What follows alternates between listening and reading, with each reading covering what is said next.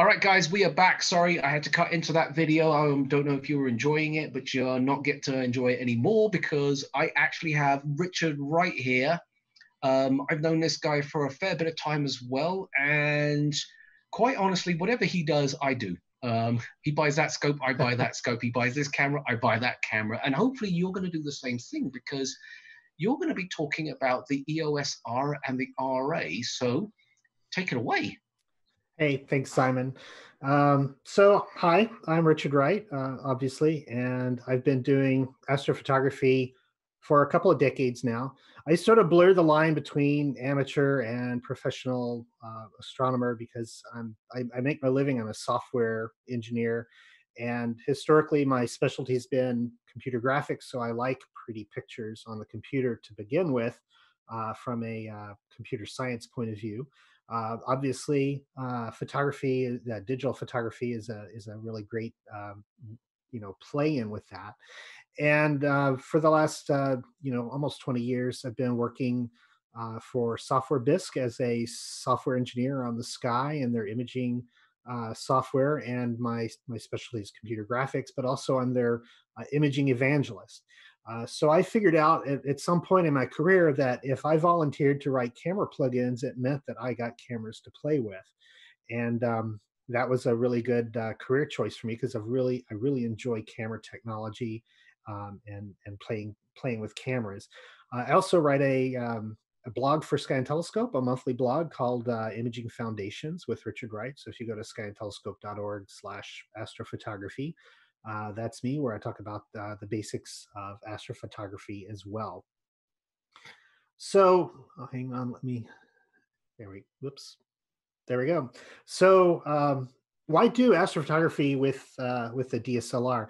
So, coming into this, I'm not going to spend the whole you know a whole hour just talking about the RA and you know versus the R. There's there, there's a lot of great things about the R series, and then there's a little extra icing on the cake with the RA. So, I'm going to get to that. But first, I, I figure a lot of people who are watching this, they're either uh, interested in getting into astrophotography with the DSLR, uh, either because they they don't have any photography experience at all, or maybe they're they do deep sky with a telescope and CCD, and they're thinking, well, maybe you know this DSLR would be kind of fun too to do some nightscapes. So I want to talk about some of the basics of DSLR astrophotography to give you uh, a foundation before I start talking about these features because you know what is it about these features that make these cameras uh, so great? Well, we have to we have to know a few things uh, initially. I got started in astrophotography shooting the moon with film on my wife's uh, Canon SLR camera, uh, connected that to my telescope, and I graduated to digital when Canon introduced their first digital Rebel, which uh, I was looking it up. It's been 17 years uh, since that happened and since then, of course, I've become a bit of a camera fanatic. Um, you know, being a software developer, working on camera software that that you know that's kind of kind of nice, and I have a pretty enviable collection of CMOS and uh, CCD cameras, um, you know, at my disposal. But if a guy in a weird uniform showed up at my door with gun and said, "You can only have one. You can only have one camera. All these cameras have got to go," um, after I spent a lot of time crying, I would go, well, if I can only have one, it's going to be my one of my DSLRs. Hang on a second.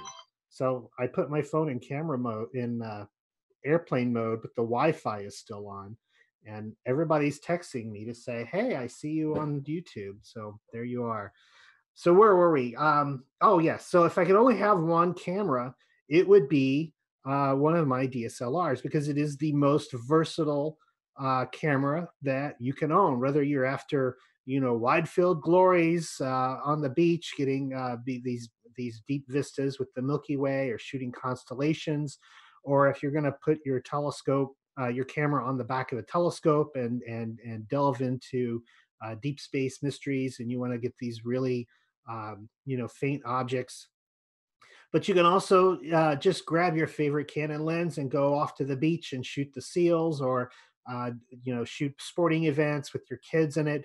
It's just simply the most uh, versatile camera you can own because it really is up to the challenges not only of your daytime uh, photographic uh, pursuits, but it also works really great for uh, for nightscapes as well as deep sky work.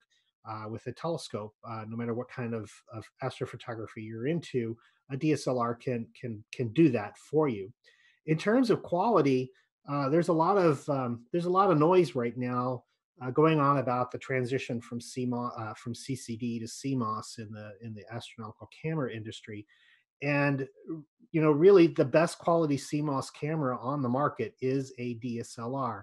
It's not uh, it's not a fluke that they cost more than you know some of the lower cost CMOS cameras for uh, astrophotography.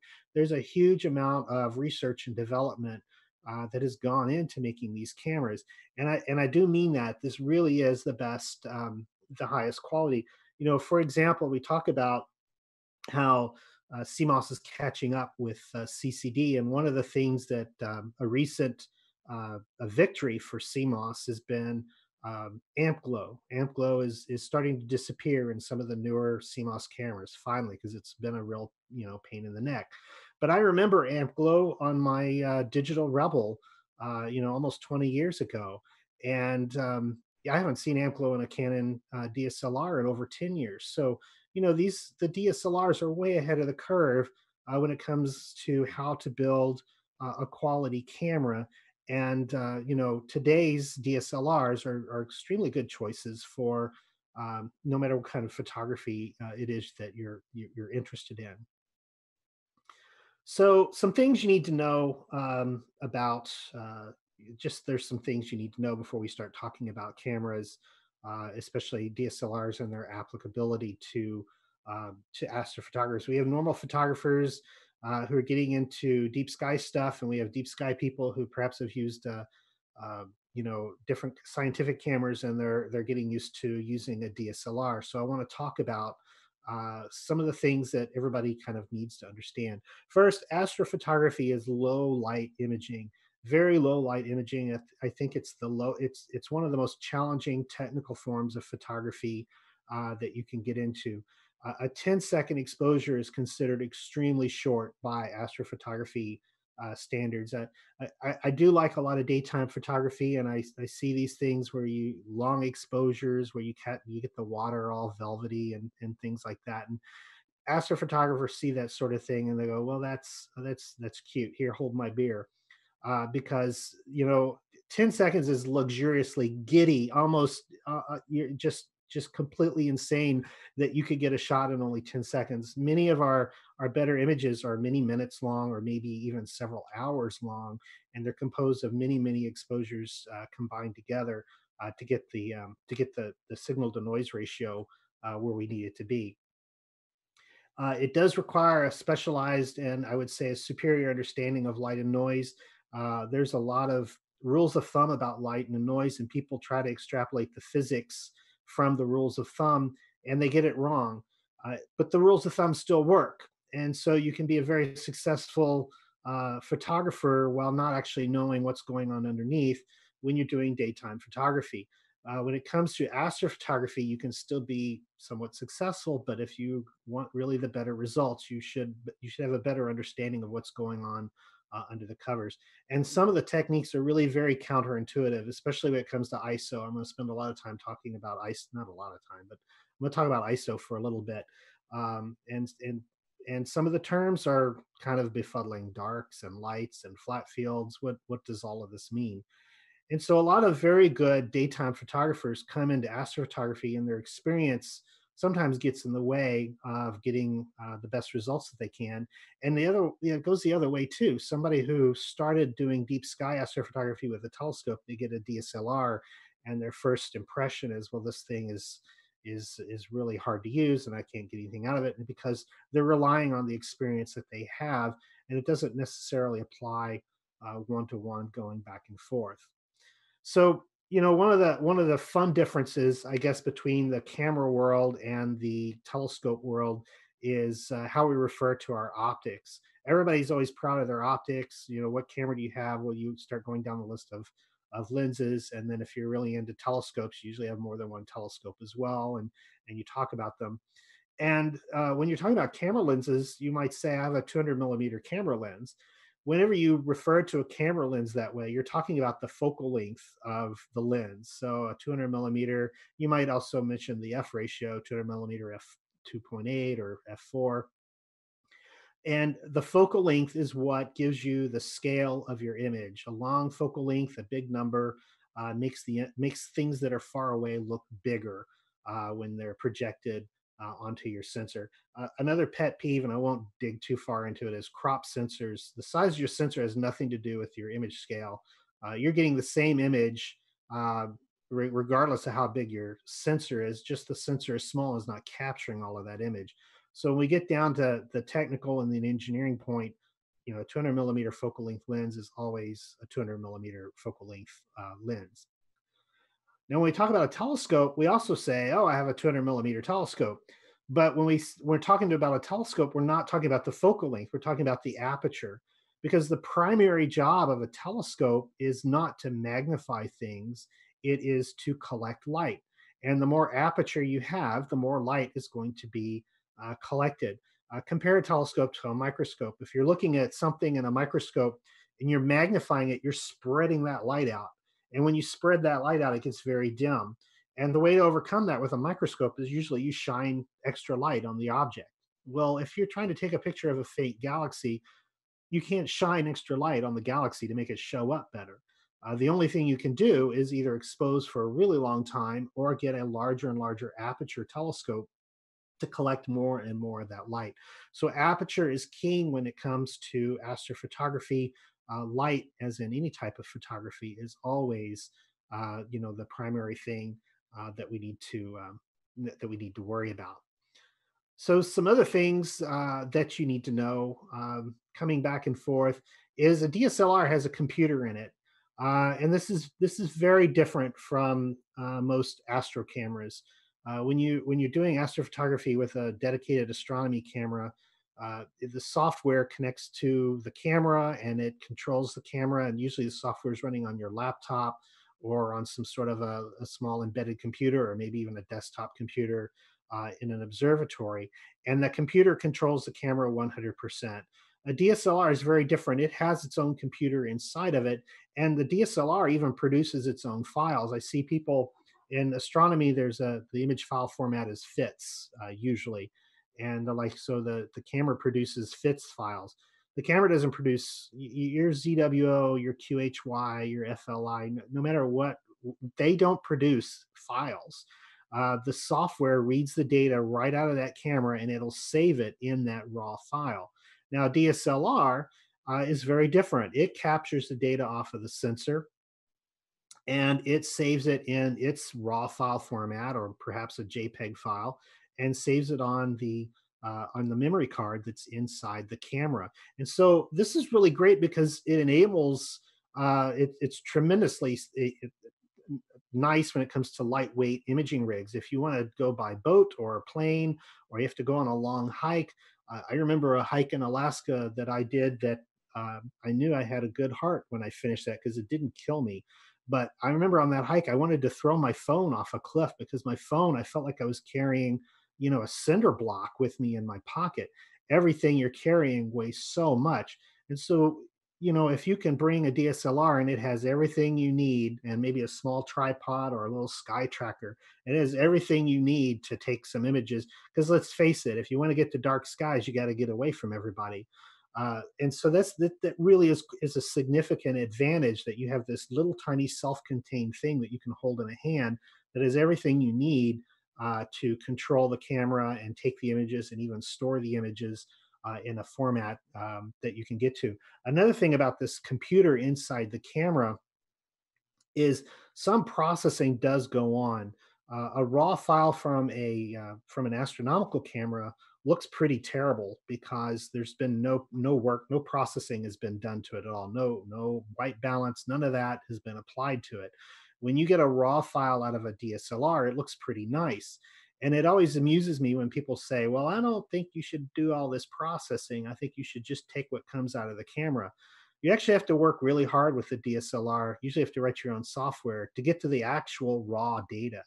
And the raw data coming off of the sensor in a DSLR is actually pretty hideous, just like it is off of a DSLR. When you bring it into uh, Photoshop or Adobe Raw or Canon Professional, they they know they know ahead of time what the the balance is between the color channels. They know all about how that camera is made, and there's some work that gets done to that image to give you a nice uh, presentation. And then when you go to edit it, you know you just sharpness and you change some you change some things around and it's really not a great deal of work to to edit a raw file out of a dslr because some of the work is already already been done for you.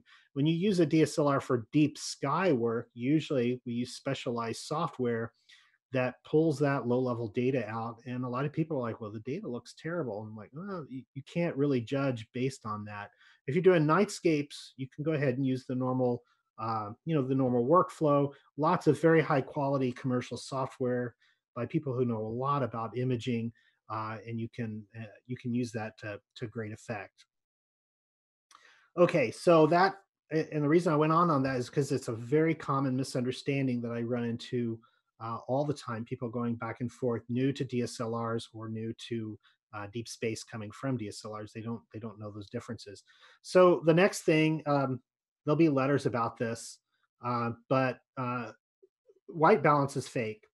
Um, it, it's so here's the here's the thing: white balance, uh, the raw data, the raw file, the raw image that you get is encoded in the raw file, and then there's a flag or a variable in that raw file that says this was shot with right with white balance for sunlight, or this is shot with white balance for a cloudy day. Uh, or if you took a, um, a custom picture with a gray card to do custom white balance, it'll store that information. And what that's storing is the ratios between red and green and blue. But that white balance isn't actually applied to the raw data on the camera. It is applied to the raw data when you bring it into your post processing software. Um, wait a minute. You you are shooting raw, right? because when you shoot JPEG, I'm completely wrong. All right. When you shoot JPEG, the white balance does get baked into it, which is why you should always shoot RAW because you can always change the white balance after the fact because it's not really baked into the image like it is uh, with a JPEG uh, file. And this is really great because you can change the color tone of your uh, nightscapes. Uh, you can change the color tone. You, God help you if you're trying to do deep, really deep sky stuff with a with a telescope with JPEG. That's just not going to work, and I don't have time to explain all of why. But you really should be shooting raw anyway. But white balance is not completely fake. Obviously, it's a real thing, uh, but it doesn't get baked into the data on the on the raw file the way people think it does. It's something that you can apply and change afterwards, and it's it's a lossless modification uh, to your uh, to your raw data. Now, the last one, I definitely will get some letters about this. ISO is also fake. Um, obviously, it's not fake; it does something, but but a lot of people misunderstand what it really is. Number one, ISO does not make your camera more sensitive to light.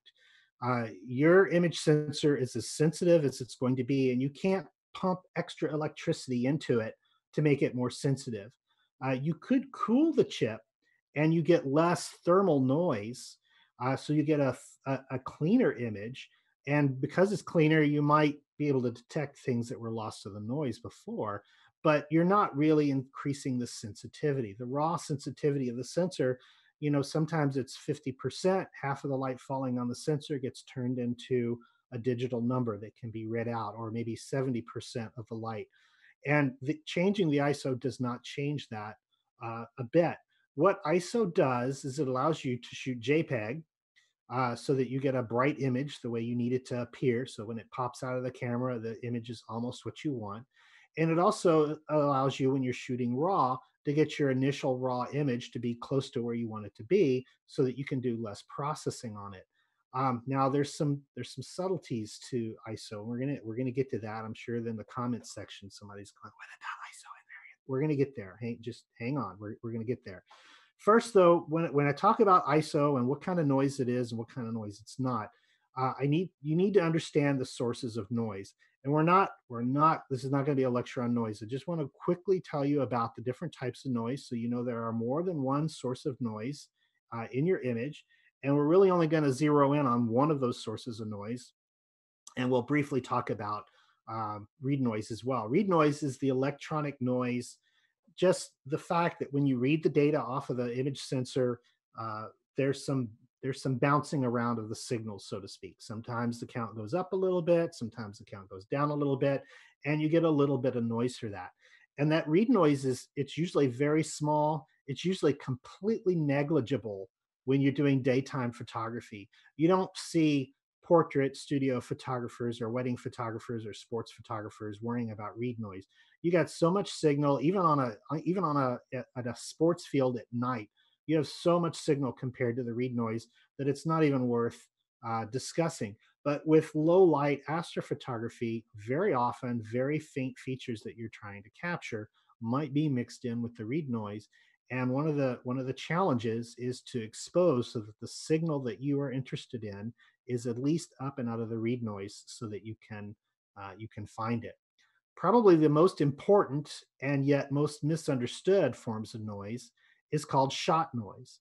And shot noise is due to the random scattering of light falling on your sensor. Uh, imagine photons falling from the sky onto your into your camera lens it's like rain falling on the sidewalk and if there's just a little bit of rain you just get a few little splitches uh, splotches of, of water here and there. You get a good downpour, you get a good soaking, the sidewalk is completely covered with water. Well, to get a good image, to get a good clean, uh, noise free image, you need enough photons to completely cover that sensor and you get a nice, uh, pretty image. If you just are shooting something very dim, the photons, I mean, literally, you might get, you know, three or four photons a minute uh, for some very, very faint uh, target. And if you don't expose long enough, you can't you can't see it because there's not enough signal built up against uh, against the background. We also have pattern noise, uh, which have some. I'm going to show you some examples of how ISO can help with pattern noise, um, which is one of the nice things uh, about it on mini cameras. Uh, usually, we calibrate this out with a dark or a bias.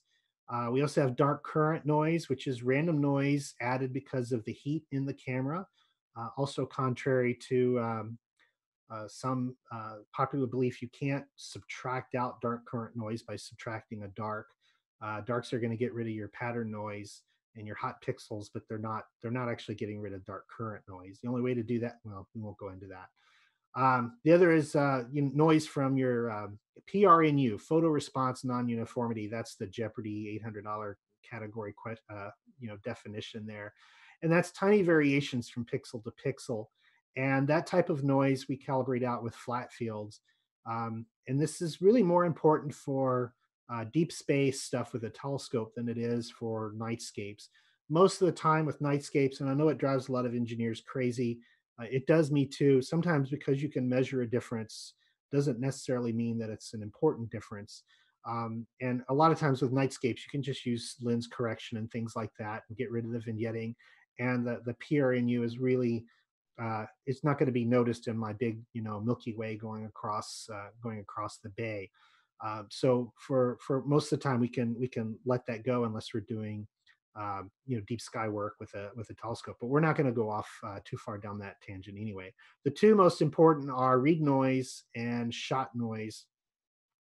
And uh, the read noise usually looks you know kind of like this, just a, a, a mild uh, a mild speckling there. And this is a globular cluster. I just put that up there because it's a very noisy image to show uh, what what noise looks like. You know, noise is important too because this image has less noise, but you can see more of the stars in the image.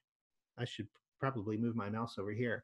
You can see more of the stars in this image than you can in this image. So controlling noise is important in astrophotography for getting uh, getting the things that we that we want to look at.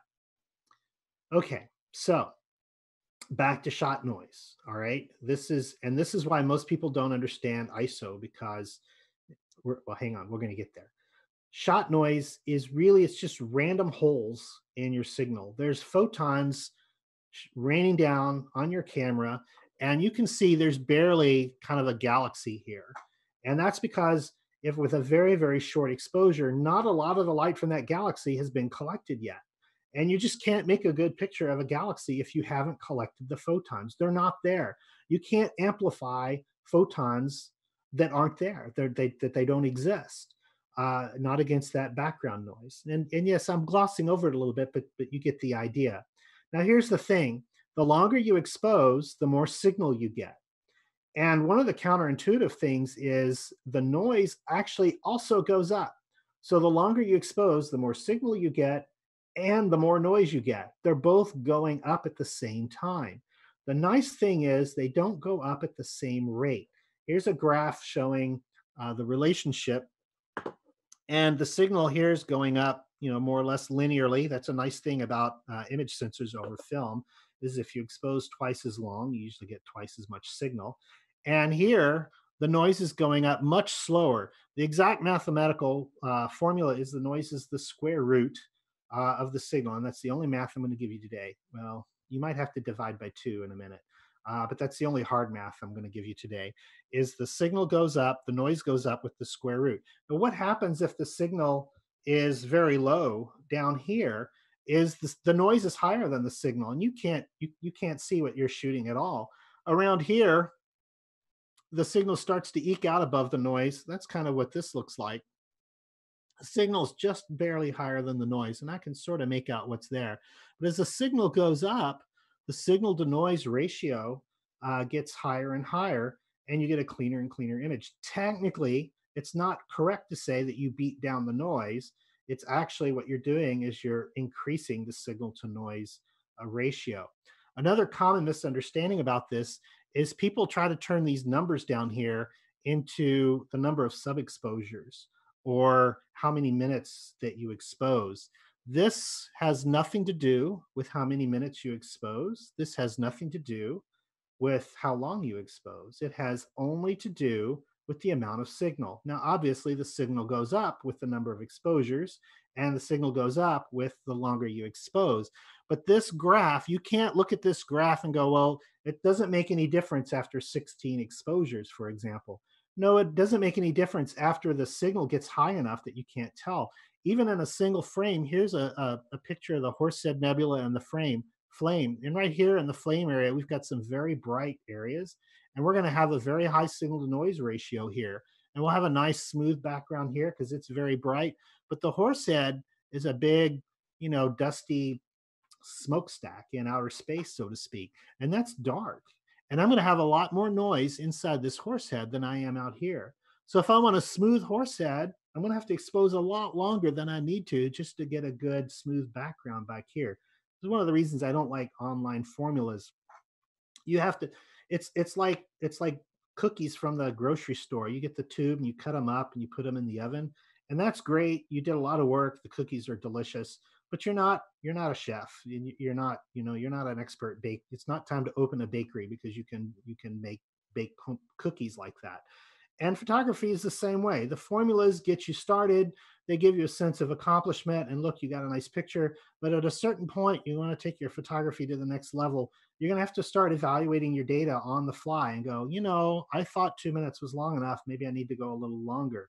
Or I thought two hours was long enough, and I can see that I need to go a lot longer in order to achieve my goals uh, with this uh, with this image. Anyhow back to signal to noise and and why we care. So here's i, I made sort of a fake uh, animation. I just go from frame to frame.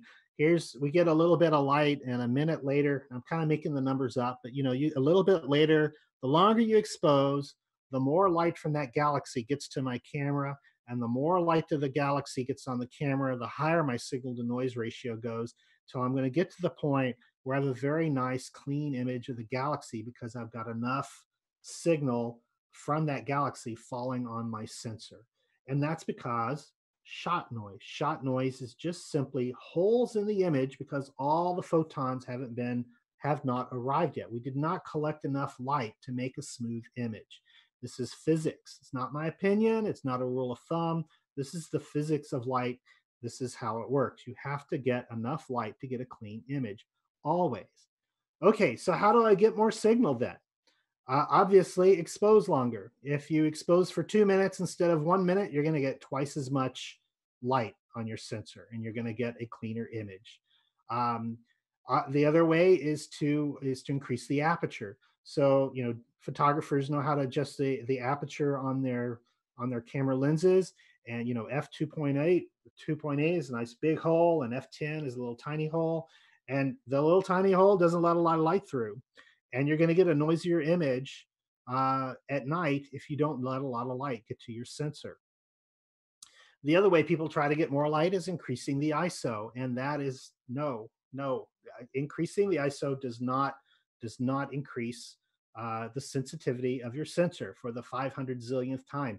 Now, way back in the day when we used film, chemical films, we had ISO and we had we had ASA and all sorts of things going back forever. And those chemical films literally were more sensitive. We've got a lot of rules in photography. We have the exposure triangle, we have ISO and aperture and exposure time. And all of those rules work great with the digital camera because the digital cameras are simulating that sensitivity of the film to give you the brightness in your unprocessed image that you're after. And this is invaluable for most forms of photography. So, no, ISO is not entirely fake, but you need to understand what it's actually doing, that it's not making your sensor uh, more sensitive. Let me give you a real world example. Um, several years back, I, I, it was time to I upgrade my camera every year. Uh, not every year. Every so often, I'll upgrade my my DSLR. So my current camera, 5D Mark III, and I remember when I got it, it had really great low noise, and I bought a used uh, Canon 200 millimeter f2.8 uh, prime focus lens. All right, I've got a really nice new camera. I got a really nice new lens. I'm going to Disney World. So I went to Disney World. I live outside Orlando, so I, I, go to Disney World and I get on the you know the Pirates of the Caribbean and the, the Haunted Mansion, and I'm going to take some pictures in these low light things. Because if you've ever tried to take a picture on one of these rides, you know with your phone it's just this blurry, horrible mess. Well, now I've got a professional setup, right? And so I go and I get this I get this shot of um, this is a fortune teller in a in a in a in a crystal ball and um, and I and I got that with my lens, and it, it looks it looks great. So I thought it would simulate. I would I would use this as an example. Now I know it was a shot at f two point eight. I do not remember, and I couldn't find the raw for this because it was several years back. Um, but let's let's make up the numbers for the point of illustration here. Uh, let's say I was at f two point eight, and it was one sixtieth uh, of a second, and it was at uh, it was at ISO thirty two hundred. Okay, so there, I got a nice image, ISO 3200, 160th of a second, f uh, 2.8. Most people, when they try to com- compare uh, the noise from ISO, they'll change the ISO and then they look at the image. But here's the thing, that doesn't that doesn't work. When you increase the ISO, you have to hold the exposure time and the aperture constant. So let's say I took an f4 lens with me on this trip. So it's one stop from f2.8, half as much light with, with an f4 uh, lens. And I'm trying to take that picture on a moving ride and it's blurry. So what do you do? Everybody who's been to a photography class knows I need that 160th of a second so that it's not blurry. So I change the ISO. I can't open up my lens any wider than f4 because it's an f4 lens. So I up the ISO from 3200 to 6400. And now I can get the shot and in 160th of a second, I got just as bright of an image by upping the ISO. Uh, and look, it's noisy. All right. So, class, here's your pop quiz. Why is that image noisy? Simon, can you tell me? Hate to put you on the spot. Why, Why is, is, that it... shot more noisy than the other one? Yeah, yeah. Now I did simulate it, but why is it noisy? Is it noisy because I upped the ISO? Yes, you did up the ISO because you, you mentioned you went from 32 to 6400 ISO. I, I did. I did. What else did I mention that was I'm putting you on the spot. I'm sorry. I know. All right. So the first image was at f2.8. The bottom image was at f4. So yes, I upped the ISO in order to brighten the image, but I have half as much light. And that's why the image is noisy. It's because I have half as much light showing up uh, on my sensor. And so it's actually, we can actually do the math. It's 41% uh, increase in noise uh, because we had half as much light um, falling on it. And you don't have to believe me. You can do this experiment yourself. Uh, in fact, it's really, this is one of the really cool counterintuitive things. With most cameras, increasing the ISO actually reduces the noise. Um, you, and, and fine, don't believe me, try it yourself. Go out somewhere dark, and set your camera up at the sky and and take a 10 second exposure at a certain f ratio and change the iso take a 100 a 200 a 400 an 800 but keep the aperture the same. Keep the exposure time the same. You have exactly the same amount of light falling on your sensor. The only thing that's different is the iso and look here. The iso 100 image actually looks terrible and the ISO 800 image is very is very clean. And we have a nice progression from the higher the ISO, the less noise the less noise we see uh, in our image, and that is because all right, we got the same amount of light. So what's happening is down here around ISO 100, we have um, it, you know it happens for a, a number of a number of reasons. Uh, the read noise is down here, but this is not read noise. We see these patterns. There's all these color lines and gunk, and we see these streaks through the image. That's pattern noise. Uh, in fact, if you do a long exposure um, uh, noise reduction, it, will do a dark inside the camera. You'll actually end up still with a noisier image uh, for reasons I won't get into, but it will get rid of these streaks uh, to a large degree and, and make them uh, make them a good a good a good bit better. Now, this is with most older cameras uh, will will behave this way. My 5D Mark III uh, works like this. In fact, I did this with my 5D Mark III, and um, some of the newer cam, some of the current cameras will do it. A lot of the newer cameras don't, which we're going to get to in a minute. Uh, but I would say most cameras in circulation, which is most cameras that people have, because a lot of people are shooting with older Rebels or older cameras. Everybody doesn't buy a new camera as soon as a new camera comes out, and so you may have one of these older cameras. And if you want to get the best nightscape uh, performance, you should do this experiment. Do it in your house in a dark room or take it out into the sky and do it. And you may find that you get cleaner nightscape images by increasing the ISO rather than, you know, a rule of thumb, lower ISO, less noise, right? Usually in daytime photography, that's because lower ISO um, collects more light. It's less sensitive, it exposes longer, and you collect more light. And when you collect more light, you get a higher signal to noise ratio. Okay, now, and this is this is a, a well, yeah, we'll, we'll get there. All right, so why am I going on and on about this? Because this is very important. Um, when you're when you're doing astrophotography, we have an enormous uh, dynamic range that we're trying to capture, and usually with very very little light. So, how to get this noise down to begin with before we start processing and trying to get the noise out of our image is very, very uh, is very, very important. Okay, so enough of the foundations, right? Let's talk about the cameras. And the reason that I wanted to go on about uh, the ISO and this experiment, where most people's cameras um, will do this, where the noise actually goes down as you increase the ISO, I wanted to show you. I did the same experiment with the EOS R and um, and the RA, and it doesn't. It, it's not the same. Uh, this is called ISO invariant. I'm sure there's some people who are dying to put in the comments. What about ISO invariant? Okay, yes. So now we have the newer Canon cameras are ISO invariant. So you can see here, uh, 100 to th- uh, 3200. There's very little difference. You can see a little difference uh, between the 100 and the 200, but that 100, the extra noise is a random noise. This looks more like read noise than it does pattern noise. So Canon has done some stuff so the pattern noise isn't showing up at low ISOs with very low, uh, very low levels of light, and that's really, really important for uh, for astrophotography. In fact, for me, you know, the new camera comes out. I look at my camera. I spend a lot of money on my camera, and it usually takes some convincing of myself and my spouse. Even though it's, you know, I can make it a tax deduction. It's the money doesn't grow on trees. So do I? Is it really time to upgrade?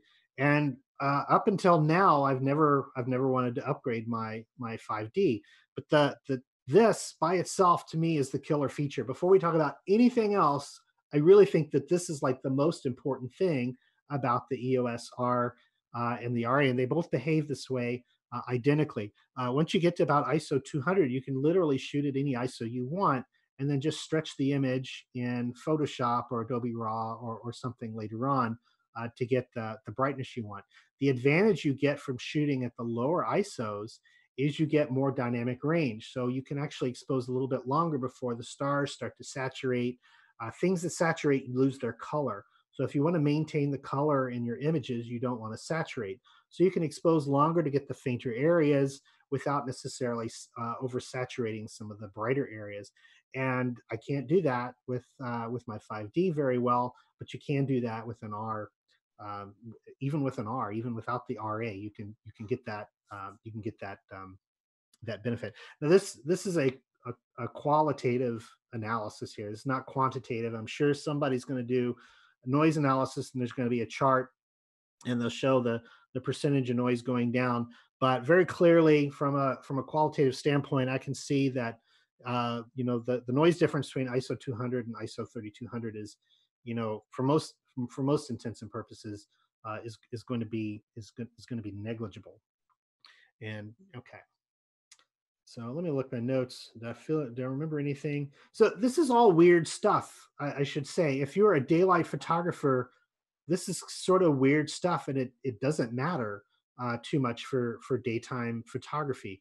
Uh, just keep using ISO the way you've always been using ISO. It's a you know it's a it's a very important part of the you know the exposure pyramid or the exposure triangle, I should say, uh, to to get things you know closer and closer. I, really like to get close to what I want. When what comes out of the camera, I want to be as close to what I actually want as possible, so I don't have to spend you know an hour uh, trying to get the noise and you know try to get things the way that I want them to be. So the RA, uh, the R's, um, I should say, uh, they're not. excuse me, uh, they're mirrorless. So the camera, the sensor actually has a uh, it doesn't have a shutter, but it shifts the pixels so that you don't need a shutter uh, for the sensor. But the, the, the cameras aren't entirely shutterless, and I really like this. Uh, I really am very annoyed by astronomical CCD or astronomical CMOS cameras that don't have a shutter because well we don't need a shutter, uh, but a shutter is still very very nice to have. Now on these cameras it's utility only.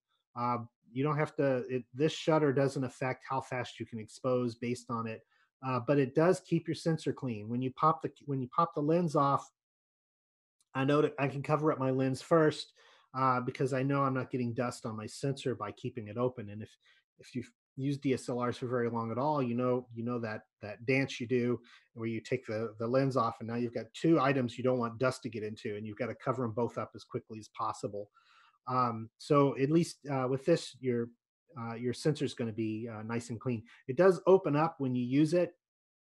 It clicks after the image, and this is really this really bothered me. At, you know, as a newbie to the mirrorless world, uh, first time I'm taking uh, photos on a tripod, and uh, I press the button and nothing happens, and I'm like, is it what what's going on? And then click and i'm like oh did it just start? No it had just finished. So when you start an image it doesn't click when you take the image it clicks at the end of the image when it closes it uh, which is it's kind of a just a new thing you have to you have to get used to. This is really great when you put your camera on a telescope because if you put on the back of like a refractor or a closed uh, you know a closed system scope like a schmidt or something uh, it's a closed environment and your sensor's hanging out there, but it's it's all sealed up, you know, more or less. But let's say you're on a Newtonian and it's all open. And so when your camera's on the telescope all day and it's covered up, all sorts of things can float around in there and get inside your camera. So I really like having a sensor. This is just another nice thing for an astrophotography DSLR is having this shutter that kind of closes and keeps that chamber from uh, things crawling out it. I, I live in Florida trust me, things want to crawl inside anything you leave outside, and they don't care how much it costs or how nice it looks. Uh, they will crawl in there and try to make babies all over it, and it's just it's just cleaning bug guts out of things is not uh, is is not fun. Speaking of shooting with the telescope, uh, you know the EF uh, the the new camera uh, has a bigger opening, and uh, they changed lenses. Now there's su- supposedly going to be some really great new lens designs because it opens up some extra uh, degrees of freedom uh, for designing lenses. Uh, but it if there's an adapter so you can put your old lenses on it because when I when I when I you know it's one thing to buy a new camera it's another thing to buy your entire new lens collection most of us have collected our lenses over years and every few years we change cameras and it's kind of nice to keep the lenses you can still do that with an eos r you have this little adapter here that uh, goes on there, and then your uh, your regular Canon lenses plug onto that. The nice thing about that is it works seamlessly with your T adapter on your telescope uh, as well, and the spacing is right. I have over a dozen telescopes that I shoot with, and I do not want to have to buy a dozen different spacers uh, to get it right. Anything that I've got that works with my Canon DSLR is going to work fine uh, with the R or the RA, uh, as long as I have this adapter, which I'm going to want anyway, because I do not want to get rid of some of my very nice uh, prime Canon lenses, to, uh, at, at, least not overnight. I'm also very happy, and I think it's worth mentioning that USB tether still works. Uh, if Canon is watching this, I just, I like, please keep USB tether. There's a strong uh, thing going forward where cameras should be Wi-Fi and you can control them with your phone, you control them with your camera, and that's great for consumer applications. But it just stinks for astrophotography. Uh, we have a very complex orchestrated dance that goes on in the night between running the telescope and running the focuser and running filter wheels perhaps and running the cameras and we need to be able to take pictures and download them and do stuff and then move the telescope and it's really nice to have all that integrated together and Wi-Fi just really stinks for that. Plus, I've been on the field at the Texas Star Party where I turn on my Wi-Fi and there's 87 different Wi-Fi hotspots around me, and there's just not enough bandwidth uh, or enough room in the you know in the airwaves for that many hotspots, and so it doesn't work, or it works intermittently, or it works fine until you go to sleep, or it works fine until you take that long walk to get a hot chocolate, and then it all goes haywire. So I really like that um, Canon has not said, hey, the world's gone Wi Fi, we're going to go Wi Fi. There's still a USB tether. And just as a developer and as a, as a, as a photographer uses this stuff all the time in an automated fashion, please keep that. Don't get rid of my USB tether uh, option. Uh, the vastly improved noise performance. Uh, so the noise, you know, the noise control is is uh, very good, and that's going to come in real handy on deep sky targets, uh, especially. And um, let's see. Uh, ah, so the open box. So um, I, my most expensive astrograph, I, I, remember when I bought it, it was like it covers a full frame chip, and I'm like, oh, I've got my new Canon 5D. I want it, and it was f3. It was that Officina thing you saw a few slides ago. I'm like, this is going to be great on my full frame DSLR.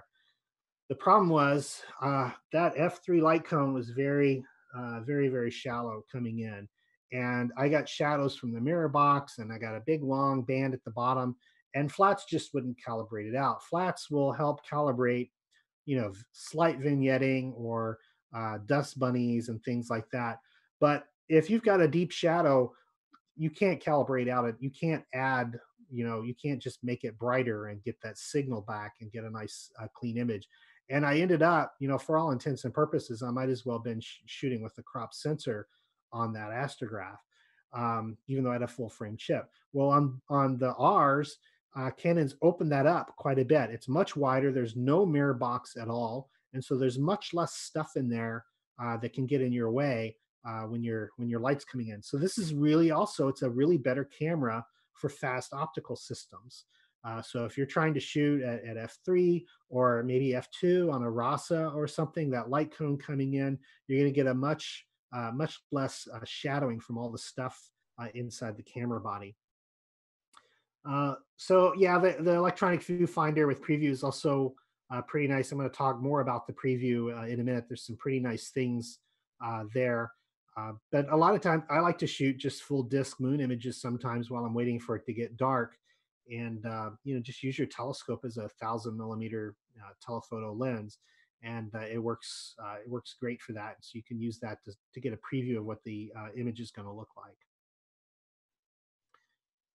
Okay, so nightscapes. Let's talk about shooting nightscapes um, with the R series. Uh, first, there's no more mirror lock. Um, sometimes uh, not everybody agrees with me, but I prefer using mirror lock. I like to pop the mirror lock, the mirror up and out of the way first before I take an exposure. You can get the same effect by using live view, but live view heats up the sensor, and I don't like the sensor to get really hot. And people are like, it doesn't matter, a little jolt at the beginning of the exposure. You don't want your telescope or your your tripod getting bumped at any point during the exposure. Why is at the beginning of the exposure not any worse than in the middle of the exposure? Uh, so I always use mirror lock, and I and I did I did see a, a difference, especially on my moon shots um, when I had mirror lock on, I got consistently uh, more usable images where nothing was was vibrating. Well, mirror lock is gone, and sometimes, honestly, mirror lock is a real pain in the neck because you got to click and then click, and so it, that's completely gone. It just kind of streamlines the whole uh, imaging process. Also, live view actually works at night. Uh, this image here, this is the Milky Way. Uh, can you see my mouse, Simon? Yes. Okay. So that's the Milky Way. You can look through uh, the viewfinder on these or use the LCD on the back. I just held my iPhone up and took a picture of the back of the of the viewfinder, and you can really see the Milky Way. Even with this fast f1.4 lens on my 5D, I can't see the Milky Way uh, on my on my live view. Uh, but you can on the R series, and I think it, it's because of the noise control. The way they do the exposure simulation has to benefit uh, from the way they're handling the noise uh, versus the way they used to handle the noise, and that's really very cool. I remember, I remember, you know, the first time I experienced this, it was like, you got to be kidding me! This is like, it's like having night vision. Uh, you know, looking looking through the camera, I, I could have just walked around in the dark with it uh, and, and saw so much better, uh, which is which is really cool. Uh, focus assist. So here, these little two triangles pointing at each other. Uh, as you move the as you move the manual focus back and forth, uh, this one would open up and it would it would be white, and then when they close together, it would turn green. And um, you know, focus assist. I've never experienced focus assist working on a star field before, uh, but it does. Um, and you know, that's that's again a really nice feature. I found that if I switch back and did manual, which we'll talk about in a minute with the RA, I could sometimes get just a little bit more sharpness out of it. But this is this is actually um, quite sufficient for nightscapes. You get a nice, beautiful image, and it's you know it's it's going to go on your laptop screen or Facebook or something, as long as you're not trying to blow it up to, to be on the side of a, a bus or something. Uh, it's it's going to work great for um, at, at for nightscapes, I should say. I'm sure it's perfect for daylight stuff, but at night, you know, it's a, you know, it's a little, it's a little more tricky. Another really cool thing, and I thought this was an RA feature, but it's actually an R feature, is um, there's a there's a timer mode for bulb now, and it doesn't have a full built-in intervalometer, which would be nice, Canon, hint hint. Uh, but I can actually set my bulb up uh, to do up to 100 hours. Um, it's actually not 100 hours. It's 99 hours, 59 minutes, and 59 seconds, which is one second short of an hour, but close enough. Uh, but you can set the bulb timer up at, for for anything you want. So if this is really great because if you're on a sky tracker and you don't have a super fast lens, you might need to go more than 30 seconds, which is the usual limit for when you're shooting in manual. Uh, so you can set the bulb mode up to do a minute or two minutes or whatever you need and you can just fire them off. Let's say you don't have an intervalometer or you're not uh, shooting remotely. Uh, they do have Wi-Fi and they do support remote shooting, and that has its place.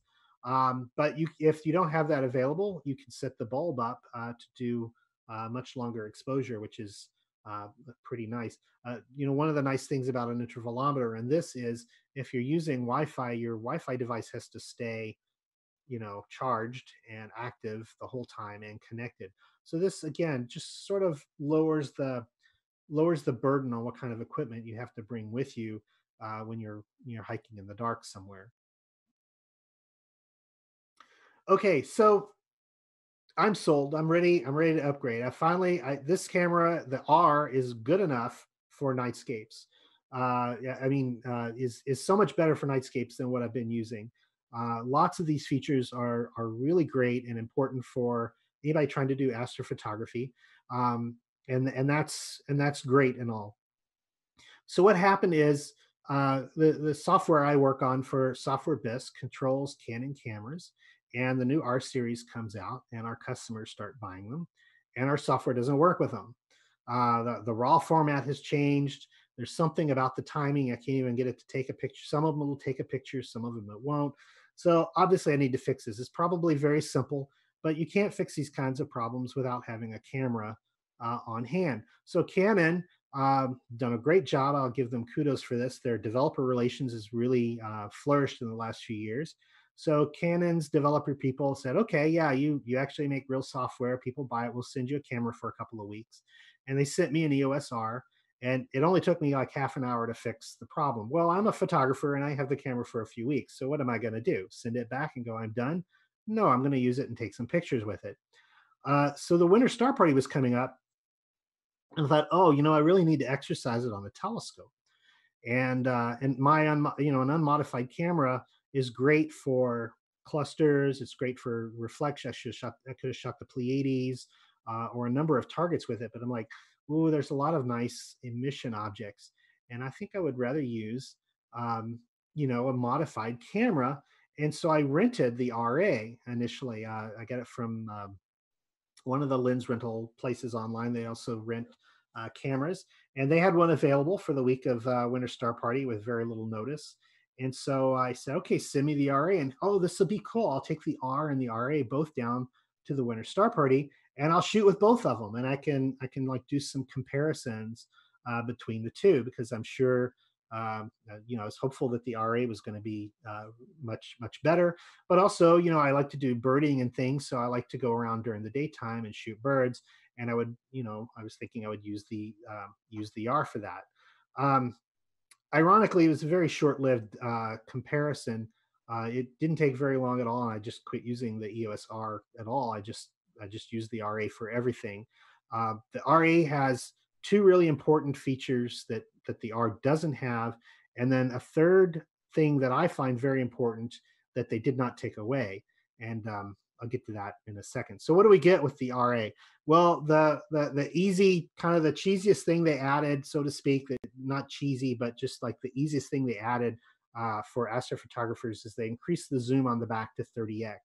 So if you really want tight, tight stars and the best uh, contract, you've got to be spot on with focus. And it's very difficult to focus uh, manually on a star field.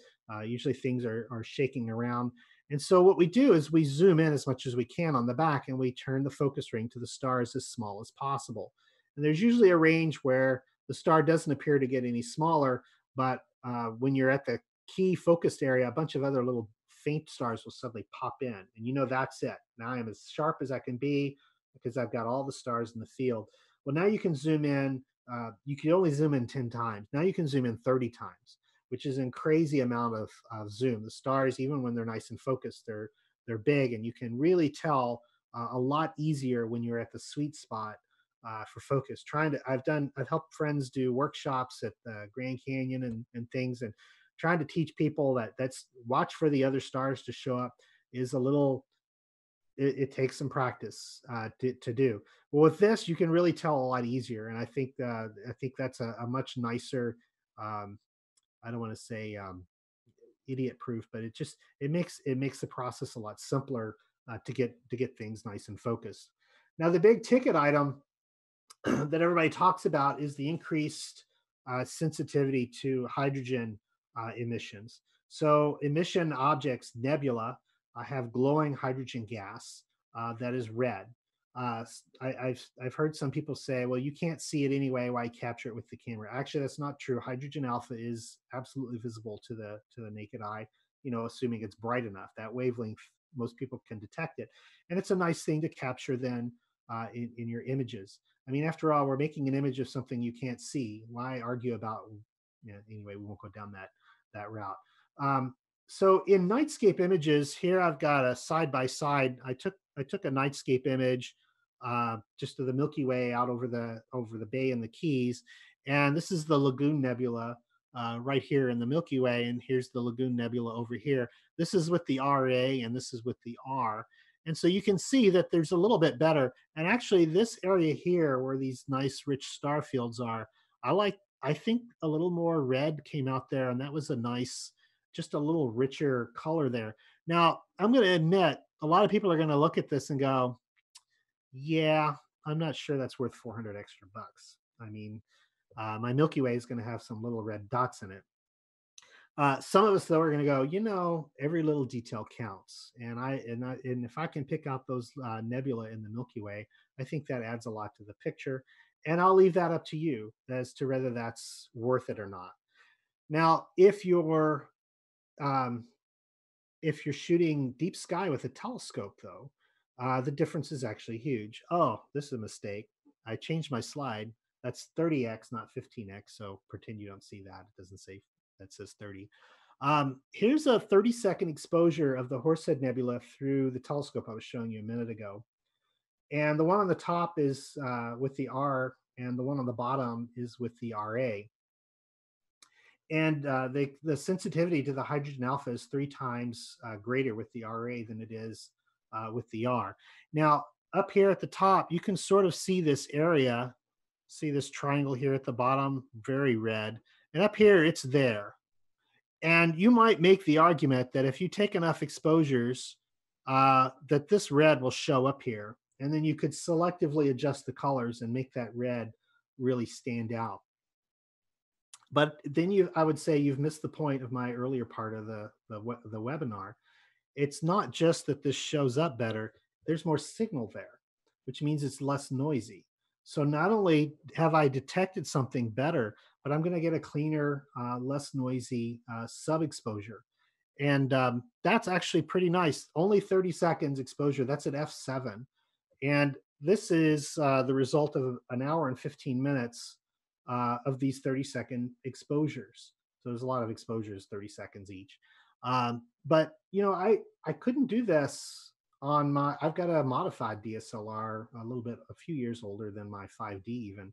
Couldn't do this uh, with that. I would have to have a lot. I would have to have it like three times uh, more data with this. So if you if you want to use your DSLR for deep sky astrophotography, you're going to get more signal uh, with less noise. Um, and um, yeah, it, it's it's it's pretty nice. I, I'm I'm very impressed with this. This is not this is not well. Richard's been doing this for 20 years. I'm sure he's a whiz at PixInsight. Uh, Richard doesn't like to spend more than half an hour processing his his images. Uh, so I did not spend my entire weekend trying to make this image look this way. I did not use some fancy plugins to reduce the noise. I did use, uh, you know, PixInsight, and then I bring it into Photoshop and I don't like to do a lot of work. My mantra has always been start with good data. Um, if you have good data outside, it's very easy to bring it in and you do a few tweaks and you're done. With astrophotography, the few tweaks usually end up being a half an hour or so, but you don't want to spend uh, hours and hours and hours uh, processing the data to get uh, to get a good uh, to get a good result. The third really kind of key killer feature for the RA for me is the lack of any difference for daytime photos. Um, this is why I just quit using the R uh, completely. Um, I've used the uh, the 60DA. I've used one of the competing competing uh, you know modified cameras. Uh, I have a couple of um, you know hand modified cameras. I didn't modify them. I'm terrible with hardware, um, and I've never been able to take a photo uh, it, during the daytime with a modified camera that I didn't have to at least back off of the red a little bit. I'm just like, yeah, you can tell that's a modified camera. So this these images, I spent like maybe 10 seconds on each of these images uh, when I brought them in from RAW. And I did not have to do a custom white balance and I did not have to, uh, I did not have to, to, to change anything. They did not look reddish. They didn't have a reddish haze or, or anything like that. And again, I'm not a professional photographer. I, I don't do wedding photos and landscapes uh, for money, and I'm not on the front of National Geographic. Uh, but I I find this camera is hundred percent suitable for daytime photography. Uh, it's just as suitable for daytime photography as the EOS uh, R was. So if you want to do astrophotography and daytime photography, uh, just get yourself an RA uh, instead of um, an RA and an R, so to speak. All right, and I think I've talked for about an hour. Questions, Q and A indeed. Flames. Oh my God, Q and A. Um, oh my! I don't even know where to begin because don't shoot JPEG. Without, without saying any swear words, you've caused quite a storm. oh dear! Oh dear! So. Right. Uh, I'm going to try and start from the top and work my way down, knowing full well people are going to start uh, pouring more questions in through the door because. Oh dear, I have to go. I'm very sorry. I mean, I'm. Uh, I, I, was actually on text message with um, somebody who's watching the stream. He's actually a good friend of mine. Uh, his name's Mac Murdoch. Uh, if you haven't checked out any of his stuff, I'm sure he'll post his Instagram link in the live chat. Cough, cough. And I'm going to get to his question later, but let's just make a start on some of these. So do the new mirrorless cameras have a filter in front of the chip that blocks the hydrogen alpha? Well, the new mirrorless cameras are exactly the same as the old uh, mirrored uh, mirrored cameras in that they have a filter in front and it blocks the. They want to block the infrared. The infrared light. Uh, the, the sensors are very sensitive to infrared, and the infrared light usually isn't as focused as the other light, and so you want to get rid of it.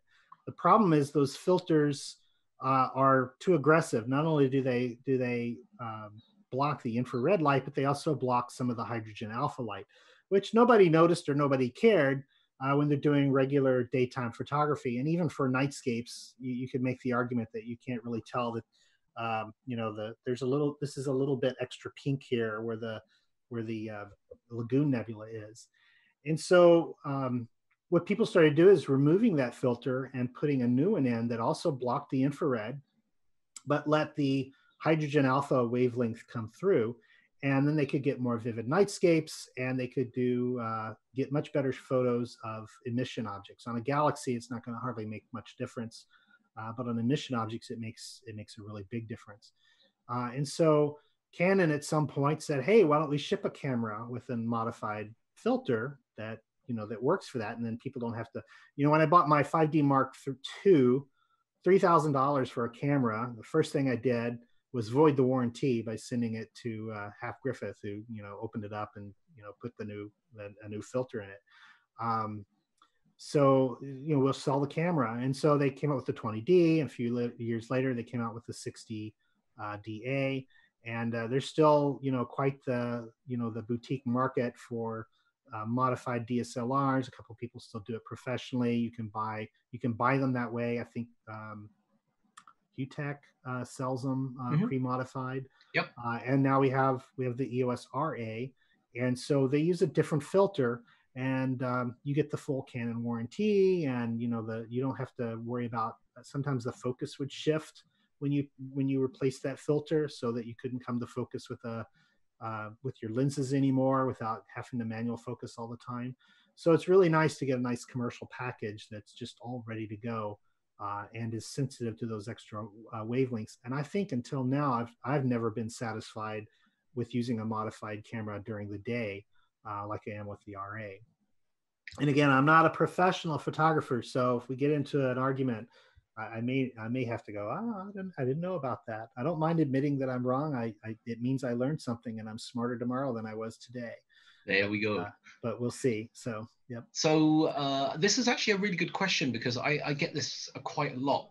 Um, when you say pattern noise, do you mean banding that you get with the older cameras? And this is actually a known issue with Canon cameras. Uh, actually, no. Um, the banding, uh, the banding that I'm aware of is um, is electronic is electronic noise, and I don't think I've seen that in any newer Canon cameras in in a while. I did I did see that in some older uh, cameras, uh, but what I'm talking about is if you shoot a bias frame with a CCD um, or or with a Canon, it's a very dark image, and you'll see a pattern, and that pattern is actually from the chip itself you'll get rows and columns that are slightly less or slightly more sensitive to light, or they have uh, in CCDs they might have a trap leap, and you get a you get a column that's a little extra uh, bright. Also, also, hot pixels are a part of uh, pattern noise uh, as well. So no, the banding is a separate is a separate thing, and I'm not. If you're buying a new camera, I, I've not experienced banding with my Canon DSLRs in, in recent years. Now, way back in the Rebel, you know, the original Rebel days, yeah, 15 years ago, um, I would see that, but not lately. Right. So here comes the barrage of um, parts that I think was getting heated here. So ISO on a DSLR camera is equivalent to gain on a CMOS one-shot color camera. how do the numbers relate to each other? Is ISO 200 equivalent to 12-bit depth? And what gain value is equivalent? No. Um, ISO is not equivalent to gain. Uh, I get into a very long discussion with a colleague of mine who is, uh, is an expert, um, but you cannot equate ISO to gain. Uh, ISO is a simulation, and sometimes uh, they use gain chip gain. Some there there you can apply gain on the chip. You can apply gain off the chip.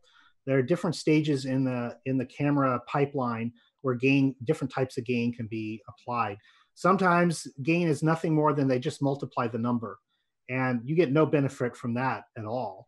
Uh, you can do that in in Photoshop uh, where you just you just make the image brighter, and so um, it from camera to camera where do they apply sensor gain where do they apply gain after it comes off the sensor varies so you cannot you cannot assume that iso and gain are uh, the same thing and i remember uh, the conversation where it was going around and around with somebody that i know is smarter than me and i know he knows more about uh, camera electronics than me but at the end he said so iso 100 is the lowest gain that you're using and i'm like no, ISO is meant they're dampening the image uh, to make it match what ISO 100 film used to do. And he said, "Well, I don't care about any of that." I'm like, "No, but that's the whole point. We're not talking about CCD cameras. We're talking about DSLRs, and ISO."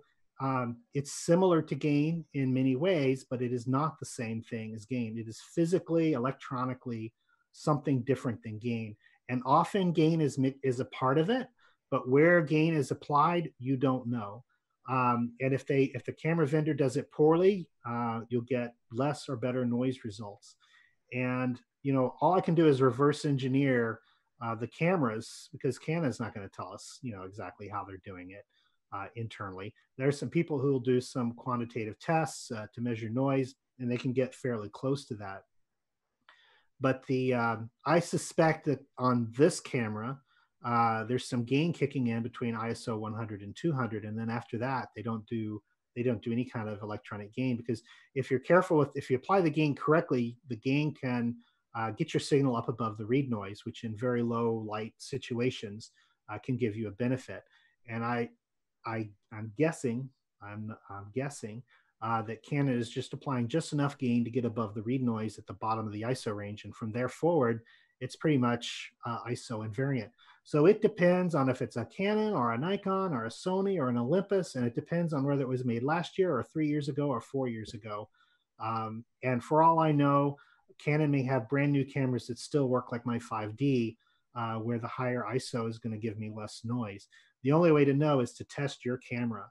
Uh, take it out somewhere dark, uh, take a series of exposures where the aperture and the exposure time are identical and the only thing that changes is the iso you have to do that in manual mode then bring it into photoshop uh, like uh, a raw processing program and adjust the the stop the exposure by the right number of stops uh, to get the equivalent brightness and you can look at those images side by side and you go well that looks like that's really noisy and this looks beautiful and so obviously if i increase my iso a little bit i actually get the same brightness when i when i brighten it in in my tools but I don't get any extra noise. And I actually got more noise by shooting at a lower ISO. And it depends on the camera. I know there's some cameras where you can't tell the difference at all between 100 and 128,000. Uh, to me, that's a marketing gimmick. A camera that goes up to 128,000 is is entire. It's nice when you're looking at the view screen on the back because you need to be able to see, you know, what you're going to get.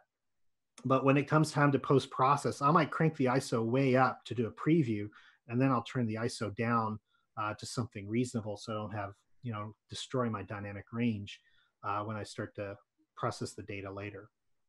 So hopefully I, I think I, I, I really want to dispel something here because ever since the advent of digital cameras, I have never been a fan of the reference to ISO or ASA specifically when I buy film, as in a roll of 35 millimeter film or 120 film, it's measured in ASA 100, 200, 400, and so forth up.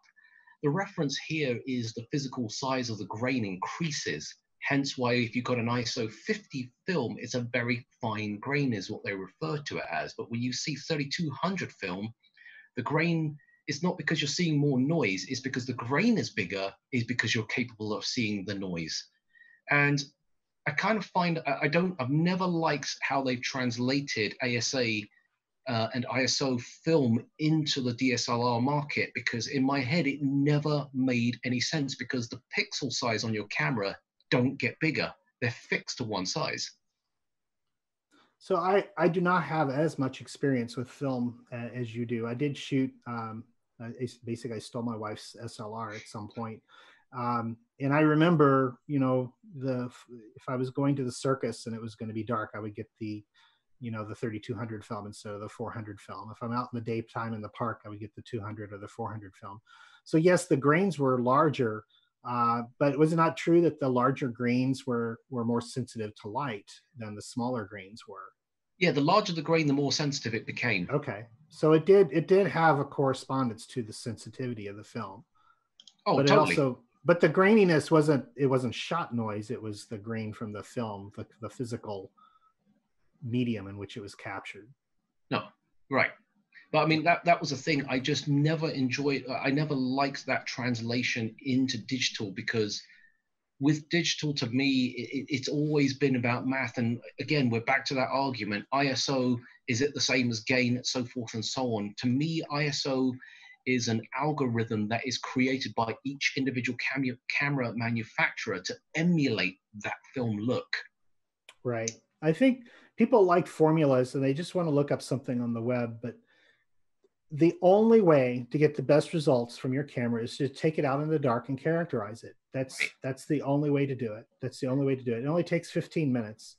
And, so and yeah i'm going to go into this question because uh, i know otherwise we just we're, we're, repeating ourselves through lack of better description this is the text conversation i was having backwards and forwards with a friend of mine um, and I, I know the answer to this to a certain degree but he, he wants clarification um, okay let's say for example's sake that i have two shots both with the same histogram taken at the same time in the same conditions of the same object one is ISO 400, but a five minute exposure, and the next would be a, a 6400 ISO, but only 30 seconds.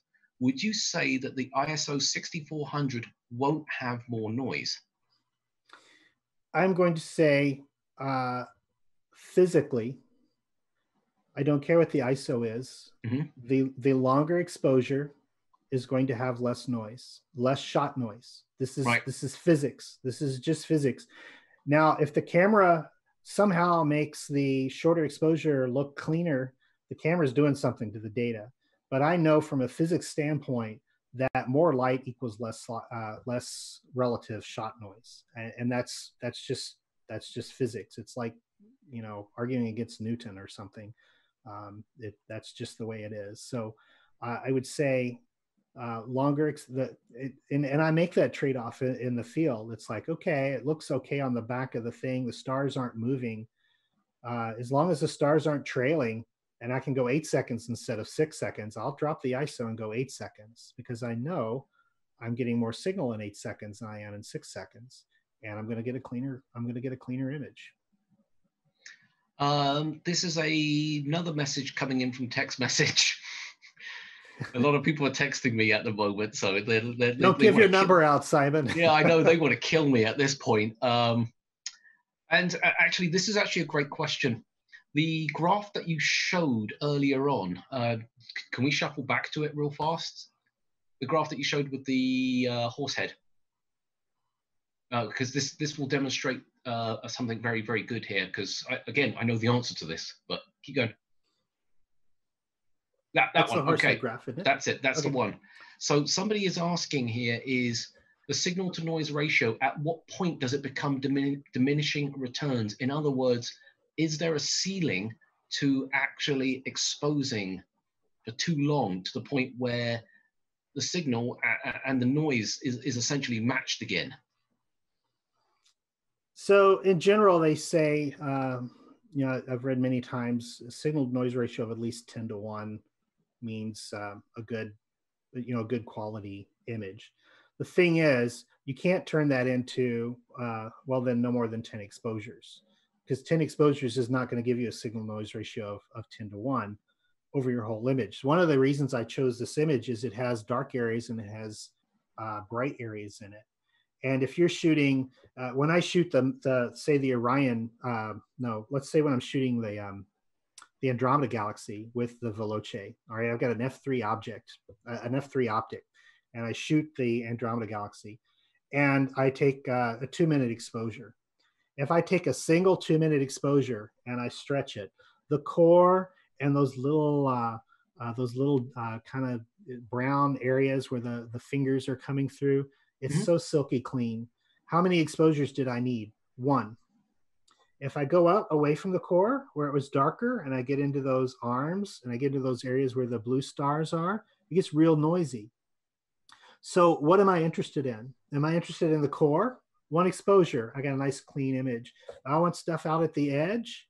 I need to do more exposures. And this is why I don't like telling people formulas. It's like it's it's not it's not easy bake, you know, cookies. Uh, if you want a beautiful image of the Andromeda galaxy, you have to look at your data and you have to go, there's some interesting stuff out here at the edge where it's very dark. And I can see there's an extra dark lane there starting to pop out. And I have to, I have to go longer. Uh, when you first start off, when I first started in astrophotography, I think I did the same thing everybody else did, which was I've got a clear night. How many images can I get? And uh, I, you know, the next day I post on Facebook, um, and and I don't accept friend requests from people I don't meet, I don't know. So don't don't do it. Everybody watching this, don't don't bother. But you know, my friends who are watching this, go back 10 or 15 years and look at my astro photos. And those were the nights where it was like, I got four galaxies tonight. It, you know, so it's so great. And they're hideous by, you know, by by what I can by today's standards. They're they're just hideous because I was trying to get lots of them. Later on, you're like, okay, so right now I'm in love with, uh, you know, for the first part of the night, this is what I want. The second part of the night, this is what I want because they're available. And uh, I'll shoot them for a couple of nights and I'll look at the data every, every morning and I'll go, oh, I've got enough on this now.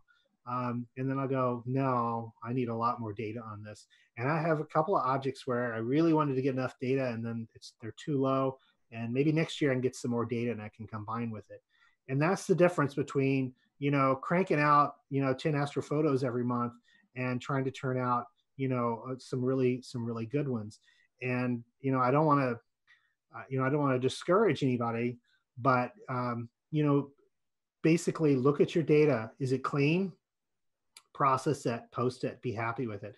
Is it really noisy? You need to expose longer. Well, how long do I need to expose? Well, it depends on your optic and your focal ratio and the sensitivity of your camera and how bright the football field is uh, a mile from your house. There are so many variables, and uh, I just I just have to say I trust myself more than I trust um, uh, than I trust the formulas. One of the few places where I trust formulas is when I look at the back of the image on a DSLR, like when I'm doing daytime photography, I can't sometimes out in the sun, I can't really tell if I've exposed well or not and I always turn on the histogram display. And so the histogram is one of those things where I trust the numbers. But when it comes to really low light stuff, you're not going to get much of a histogram anyway, uh, not in your single exposures. And so you're shooting this, and I want to zoom in on the horse head. This is a very dark area. Area. I'm going to need much more. I'm going to need much more exposure time on this head than I am for this background. This background is going to be smooth first night but there's a lot of noise in here and I want to smooth in. There's a little there's a little star hanging off his nose and there's these little tendrils of of light and I want I want that to come out really well. Well, I'm going to have to do I'm going to have to do more exposures. Same thing. I think the the Andromeda galaxy is a really good test case because the core is so bright that usually only need like one exposure of the core. And then the further away you get from the core out on those arms, the noisier and the noisier it gets. So what's the formula? For the Andromeda galaxy, well, do you uh, depends on your field of view. Can you capture the whole galaxy? Can you get those little tendrils way out at the edge? They're very faint. You're going to need a lot more time uh, to capture that. It, it join join the photography club, uh, the local photography club, and walk in there and say, "So I want to shoot birds. What what f ratio and ISO should I use for birds?" And and no, don't I don't want to understand any of the details. Just tell me what ISO and and and exposure time I need for birds. and they're just going to look at you and shake your head and they go dude it, it, depends. You know what bird how far away is it? What's the sun look like on the outside? You have to learn you have to learn to do this. Um, it's um, you know it, it's it's a hobby and the more you do it the better you get at it anyway I, I could talk forever and yeah we could, i know we I'm can. Gonna, I'm gonna get myself this is one in of trouble. those subjects yeah. I mean Yeah. craig craig stark um, actually explained it brilliantly with uh, the case of diminishing returns. There is a point where there is no more data that you can physically collect because you have essentially had nothing but signal. And all you're doing is trying to like just move noise around in circles. Um, but i mean going back to what his initial question would be if it was one single exposure it, and you've hit the nail on the head with the andromedan galaxy is what part do you want to see do you want to see this part or do you want to see that part Right. and I, I would turn around and say there is no true ceiling um, for diminishing returns when it comes to one single long exposure, because the longer you expose for, the more you will start to see. But it also can mean that you'll start getting unwanted signal. i- Is is the big problem? There, there's always there's always dark areas and it's amazing when you go really deep on an object. Uh, there have been times where i've been working on some other project i'm doing programming stuff. I remember i was working on a new focusing algorithm. I just shot you know the same object every night for a week. I shot the same object and just had this stupid amount of data on it. And it's like well i should go ahead and stack it all and process it. And when the noise is that low when you you can stretch and stretch and things will come out that you've never seen uh, before uh, in the noise. And then if you apply you know I, I like to i like to just very tiny little bit of sharpening. I don't want to i don't like to over sharpen. Tiny little bit of sharpening. But if you don't have any noise tiny little bit of sharpening brings out things that oh look at that little tendril there. That's pretty cool. Um, so i'm kind of like you. I don't believe i believe the limit is when your patience runs out. Um, for how deep you should go. And just evaluate the data you know you you can you can run through the data every couple of nights and go okay this is this is good. And you get a feel for it all right? With this camera and this optic on a typical galaxy i only need you know three hours and it's going to look beautiful um, until you go to a dark sky site and then the, the equation changes a little bit So this is a weird switching of gears here. Um, earlier on, there was a really interesting question for me, at least, is how do you figure out the field of view on a DSLR? Because it's not like an eyepiece. It's not like uh, you throw a 30 in there and it's 86 degree field of view, well, not 82 degree field of view, or you throw something else like a, a 14. How do you figure out the field of view with your DSLR camera or your camera in general on whatever scope? Oh, uh, well, now a word from our sponsor. Uh, I use the Sky Professional, so it has a field of view uh, calculator. So I just put I put my camera in. It's usually already in there. Uh, so there's a there's a math uh, equation. I don't have a slide for it, and I don't remember it off the top of my head. But if you know the size of the chip and you know the focal length, uh, you can determine uh, the, you know the field of view. How many degrees of sky or arc minutes and seconds uh, does this encompass? And it works with camera lenses too. And I and I use it all the time. Uh, in fact, I use um, use the sky on my iPad, uh, you know, for that very purpose. I just sit there and uh, I say, okay, this camera and this lens, this lens. I'll have them overlaid, and I'll have, you know, before a star party, uh, I'm making my imaging list. I'm like, okay, so this camera and this lens, or this camera and this telescope, uh, frames up this this target pretty pretty nicely. Um, so that's that's what I do, and, and most most astronomy charting software will will have a field of view uh, tool in it where you put in the telescope, and even if, if they don't have the telescope, all it needs is the the focal length of the telescope and the the size of the sensor uh, in your camera, and it can show you do a little overlay over the sky and tell you exactly uh, what's going to fall on your chip, and uh, you can go from there. It's really cool because you can use this is why like the crop sensor changing the focal length kind of grates me because I can put a small sensor on a thousand millimeter focal length telescope and a big sensor on a 400 millimeter telescope, and it's the same image. You know, it's basically the same field of view. And it's like one's 400 millimeter focal length and one is a thousand millimeter focal length. It's like it's the same image. So it's like, you know, the the size of the sensor, the field of view, it, it you know, it, anyway, enough of that. Let's not start. Yeah, that's that is a whole different topic of conversation. All, but what was, what was the name of the software though? What was the name of the software? The Sky Professional. The Sky there we Professional. go. Yeah, from Software Bisque. Yeah. Uh, who do you work for again? No, I'm kidding. um, next question. How are two faint stars filling one pixel with light registered? Will the sensor show one star? If not, what is the solution? Smaller pixel size question mark. Oh, so this is to do with resolve, resolving. That's that's what this yeah, is about. Smaller, sm- well, it's a it's it's not just the pixels. So the size of the pixels, obviously, if you if you have two stars next to each other, you have to have enough pixels uh, to to capture the two stars and separate them. Uh, but also your optics may not be able to separate uh, those two stars. So it depends on how close they are uh, to each other and whether your optics can can resolve uh, the difference between those two stars. The key thing, without getting into a physics lesson that I'm frankly not qualified to teach, uh, but I do know the key thing with that is the aperture of the telescope. Uh, so the resolving power actually goes up with aperture. This is another reason why with telescopes, the how big around it is is more important than the focal length, because a, a larger aperture gives you greater resolving power. Uh, the you know the great planetary imagers like say I don't know like Christopher Go for example, um, you know they use they use really big Schmidt Cassegrains of you know 12, 14 uh, uh, inch NY.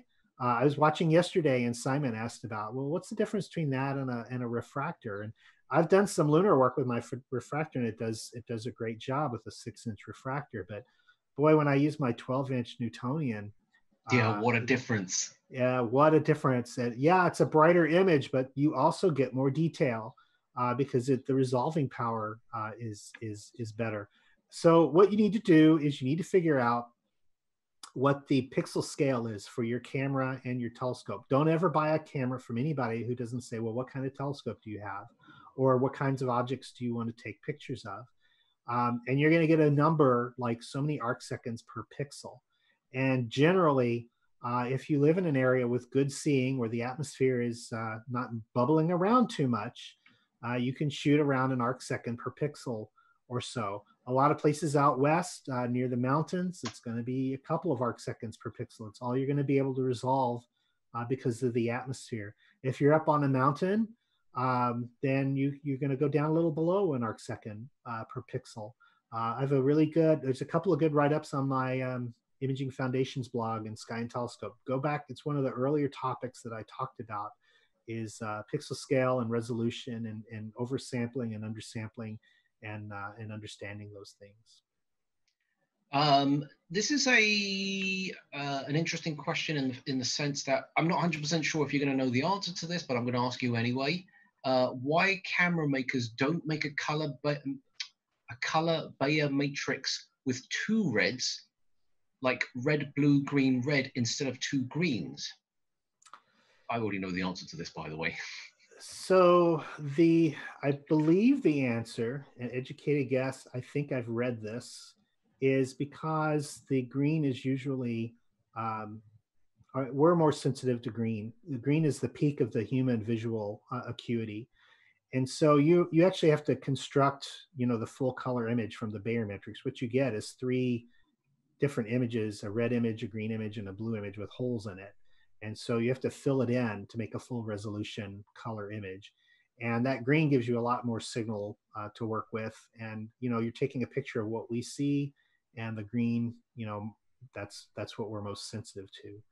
How did I do, yeah. Simon? Do you, do you have yeah, no, I mean, essentially, the reason why we have this existing Bayer matrix in regular DSLR cameras, or in any camera in general, should I say, is it's designed specifically to emulate what the human eye sees, which is why the green pixels are the more common of the two sets. Now, that being said, um, is it possible to obtain uh, cameras that do have different matrices? And the answer is actually yes. In fact, you will find them in security cameras. Um, if you notice that there are some color security cameras out there, and these tend to be the cheapy ones that you might buy from some you know random store like Best Buy, their sensitivity is actually greater in red because they genuinely have red. Well, it's red, blue, red, blue, green, red pixels. And everything shows pink. If I'm wearing black pants, I look like I'm pink. And mm-hmm. they also have that red infrared light mm-hmm. that they mm-hmm. shine onto everything, which is also what makes everything visible. Well, the problem with that here is if I had that in my camera, I'd be taking pictures and be going, well, that's not what my eye sees. It looks like I have color mm-hmm. blindness almost. Mm-hmm. So that's why they're not actually all that popular. Does it show up in astronomy cameras? The answer is actually yes, they do. You just have to find which camera supports the changing of the Bayer matrix. Um, QHY ZWO have a couple of variants in their color cameras, and unfortunately, they no longer sell the 174 color, uh, which is a bit of an upset. But what they did is they changed the um, where the pattern is read from. It's like shifted down one pixel, which then gives you red, red, green, blue, uh, which is actually really, really useful. The only problem is they don't make that camera anymore. The yeah. 174 or the IMX 174 Sony chip was actually used very extensively for security cameras because of the larger pixels. Yeah, they also make uh, make Bayer matrices where there's a clear one, so you get luminance yeah. RGB because the the Bayer matrix, you know, if you have a mono camera with a filter in front of it, as much as 99% of the light gets through that filter, but the Bayer matrix blocks a lot more than that.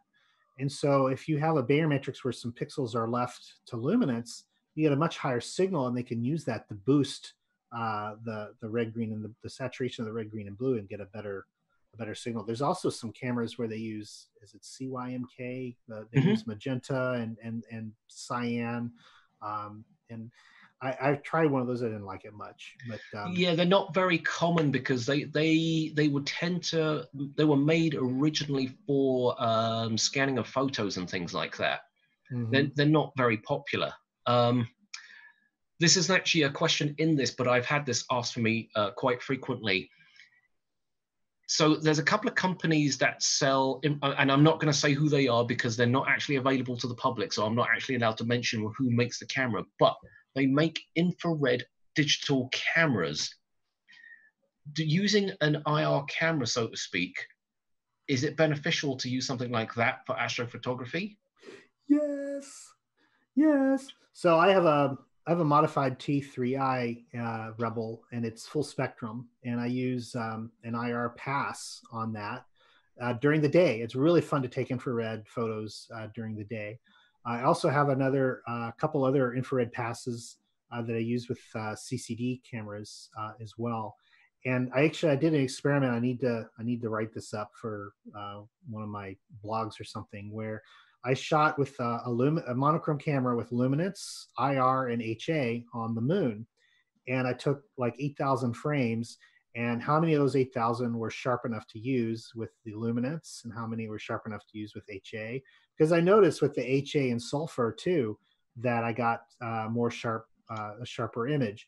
And so that high wavelength is much less affected by uh, turbulence uh, in the atmosphere. So when you shoot with infrared uh, like on the moon uh, you'll get you'll get less turbulence you still get some turbulence but you'll get much more usable uh, subframes when you're doing uh, lucky imaging.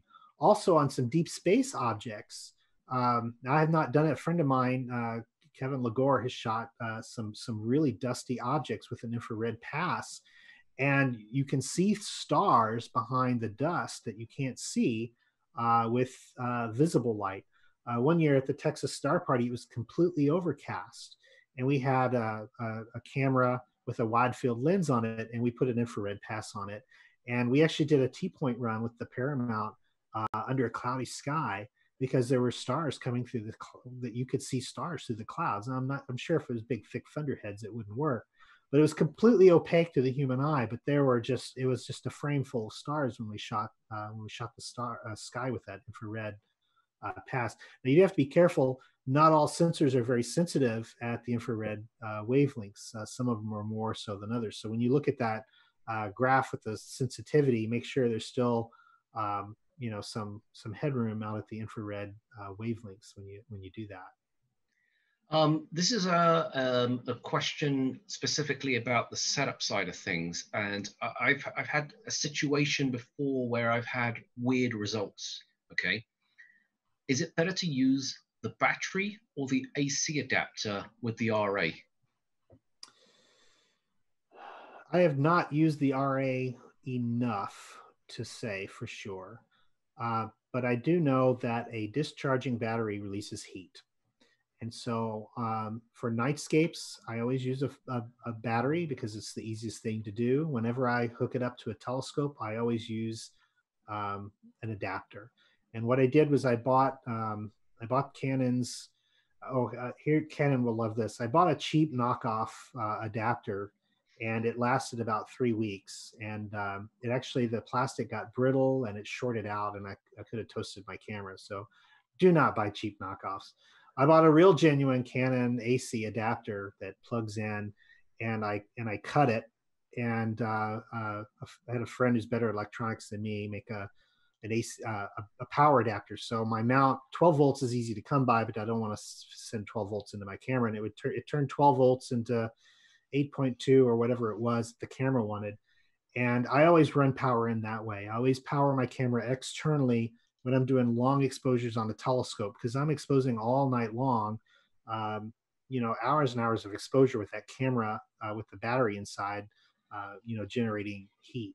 So, uh, you know, is it is it is it negligible? That's sweetened to taste. It depends on you know if you live in a cold climate in Florida good lord i live in florida people it's like 95 degrees and sweat is dripping off my nose at 2 in the morning uh, i don't need anything extra uh, producing heat and if you live in alaska and it's usually 40 degrees when you're image and you think using a battery is fine you know have at it uh, but i always i always power my bat i always power my camera externally for uh, for deep sky work and the battery is fine for for nightscapes excellent all right, so last chance to get uh, your questions in because we're coming close to our time. Um, I'm going to ask you my own questions now. Um, using the RA, do you feel that it, it's become a game changer in, in the world of astrophotography? I mean, I know you mentioned that you know if you had to have one camera, but you know it would have been that particular camera. But do you have do you feel that it's become a game changer? Um, Oh, geez. So, you know what if I knew enough about marketing to say for sure, I'd, I'd probably be a millionaire by now. You know, I'm, a, I'm an engineer. I can just say from my experience, um, I usually sit on a camera for a while. Uh, same thing, you know, with smartphones. I don't buy a new one every year. It's like, what's what's really compelling about this that's going to make me upgrade? And um, I, I never wanted a 60 DA because I love doing photography and um, it's like it's it's nice, but I really like having a full frame camera. And you know, in the early days uh, when I when I had my first Rebel, uh, I think it was a T1i when I got that modified. You know, I'd puff out my chest and go, you know, you just shoot raw anyway. And when you bring it into raw, you can fix that red thing. And but the truth is, after you've done that for 786 times, you get kind of tired of it. And it's just like I'd like to just bring it in and look kind of like what I want it to do, so I can do two clicks and save and be done with it and um, with the RA, I can do that. And uh, so I've never I've never considered a, an Astro camera to be equivalent to a daytime camera until the RA came out. Uh, so I'm I'm I'm satisfied. It's um, I'm ready to upgrade.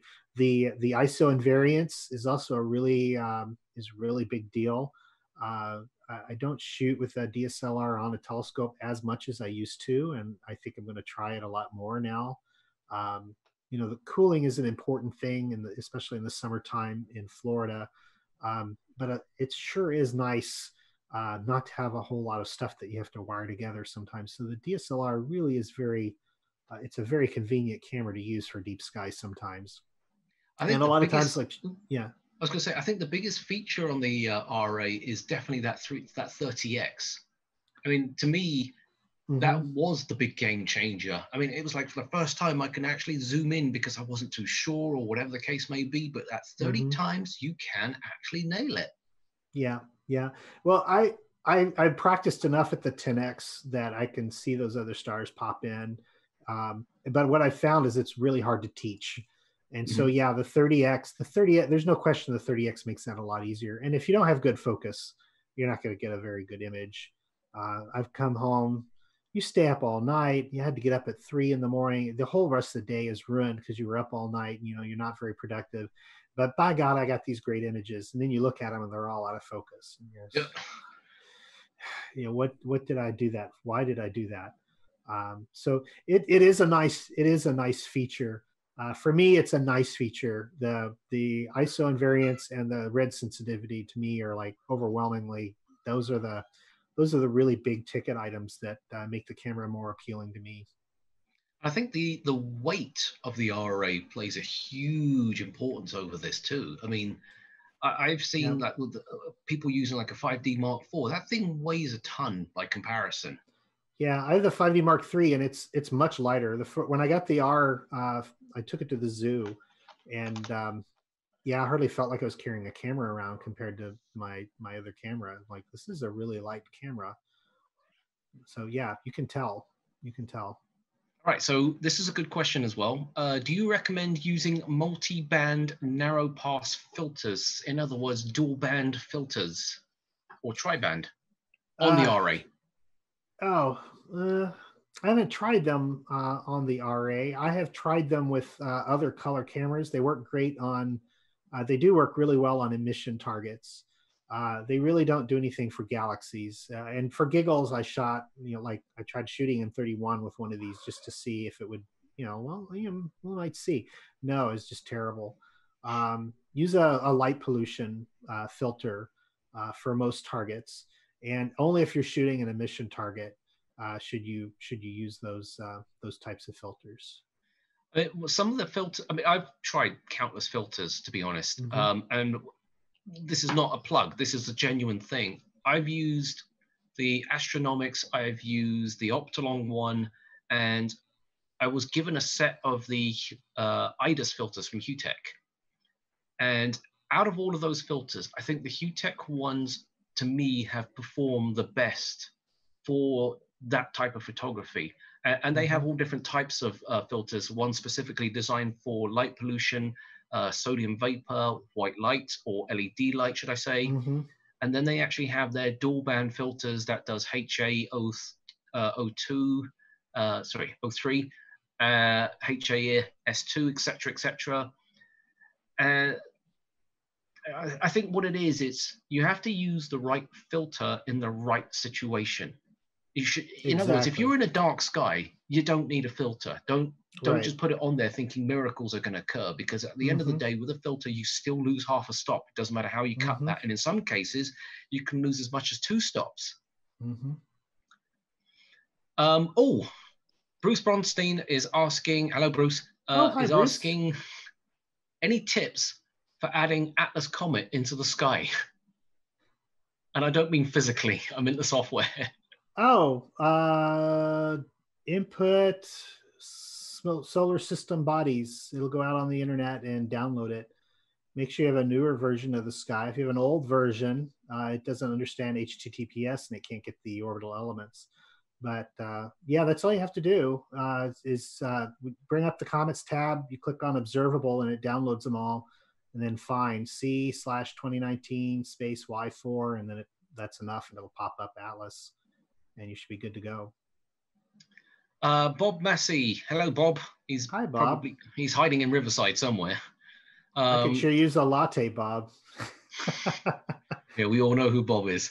Um, my Starbucks buddy. Yeah. Yeah. yeah. Uh, there appears to be two EF lens adapters, one with, one without the control ring. Do you have the one with the control control ring, and what does that give you? On the adapter? Oh, so okay so uh, a feature of the new lenses is they have another ring that you can twist so you know you've got focus well there's another ring and you can program that to like change your iso or change your uh, f-stop uh, without having to go back to the buttons uh, on the camera so the, the the adapter i have does not have that apparently that's an attempt to give people with the older lenses that same flexibility that they can use the control ring uh, I don't have that. Um, you don't need it if you're putting it on the telescope. And frankly, for me, I, I mean, it's a nice. I, it it might be a nice thing if I did a lot of daytime photography and I needed to change the um, the aperture or something. But I, you know, when you have a, a one of the reasons you one of the reasons when I got the R, I had a lot of trouble with it was because uh, I was used to my 5D. You get a camera, you get used to using it in the dark. You know where all the buttons are, and you don't have to think about it. And then you get a new camera, and they moved all the buttons around. And uh, so give yourself like at least a week to get used to where the new buttons are. Um, but yeah, the control ring. Uh, ask me in a year, and I might go, "Oh, it's so nice." But right now, I'm like, yeah, okay. It, it just, yeah, I, I, suppose a lot of that'd be nice for a lot of people if there was something they changed frequently.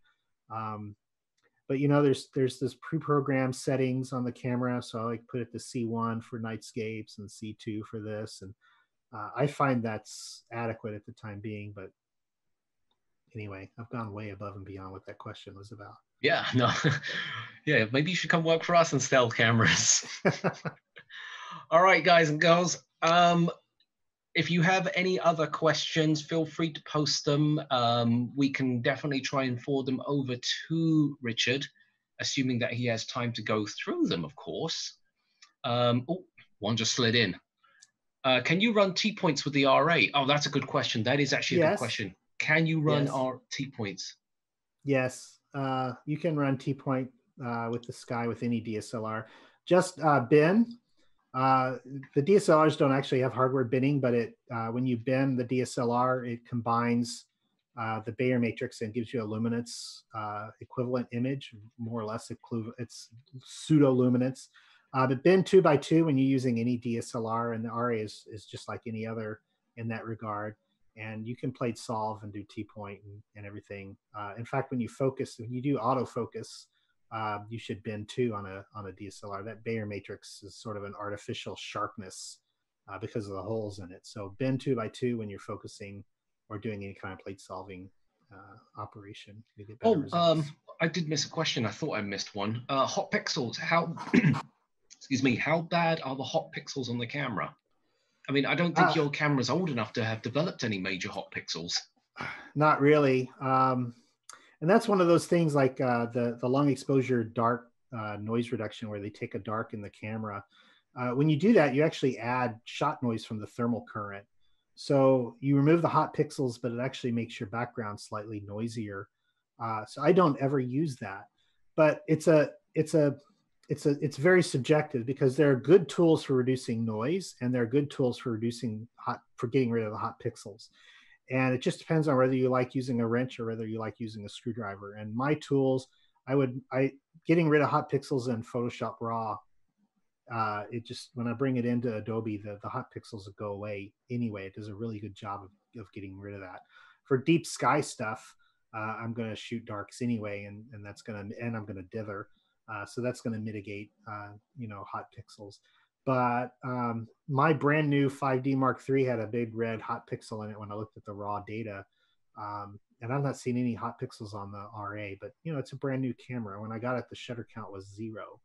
Um, so let's let it get baked by some cosmic rays for a couple of years. And uh, yeah, we'll a couple of good develop. juicy sensor strikes on it. Yeah. Yeah. We'll, we'll see if we develop a few, but right now there, there's that, you know, it's, it's a nice clean, it's a nice clean image. All right, we're going to do this as the very last question because we're coming into four o'clock. Um, All right. Christopher Go's talk is going to be slightly delayed because we've uh, we're kind of behind time. I was trying to make up time, but I couldn't. Um, your, your fault with all these questions. oh yeah, no. well, no, actually, I I kind of knew that you were going to set off a bunch of questions on your talk. I just had that feeling.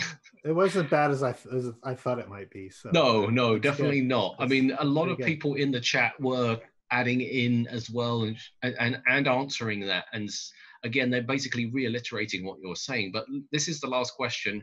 Uh, Canon says the RA lets in four times the amount of infrared, but how does that translate onto the actual image? Is it better than the R?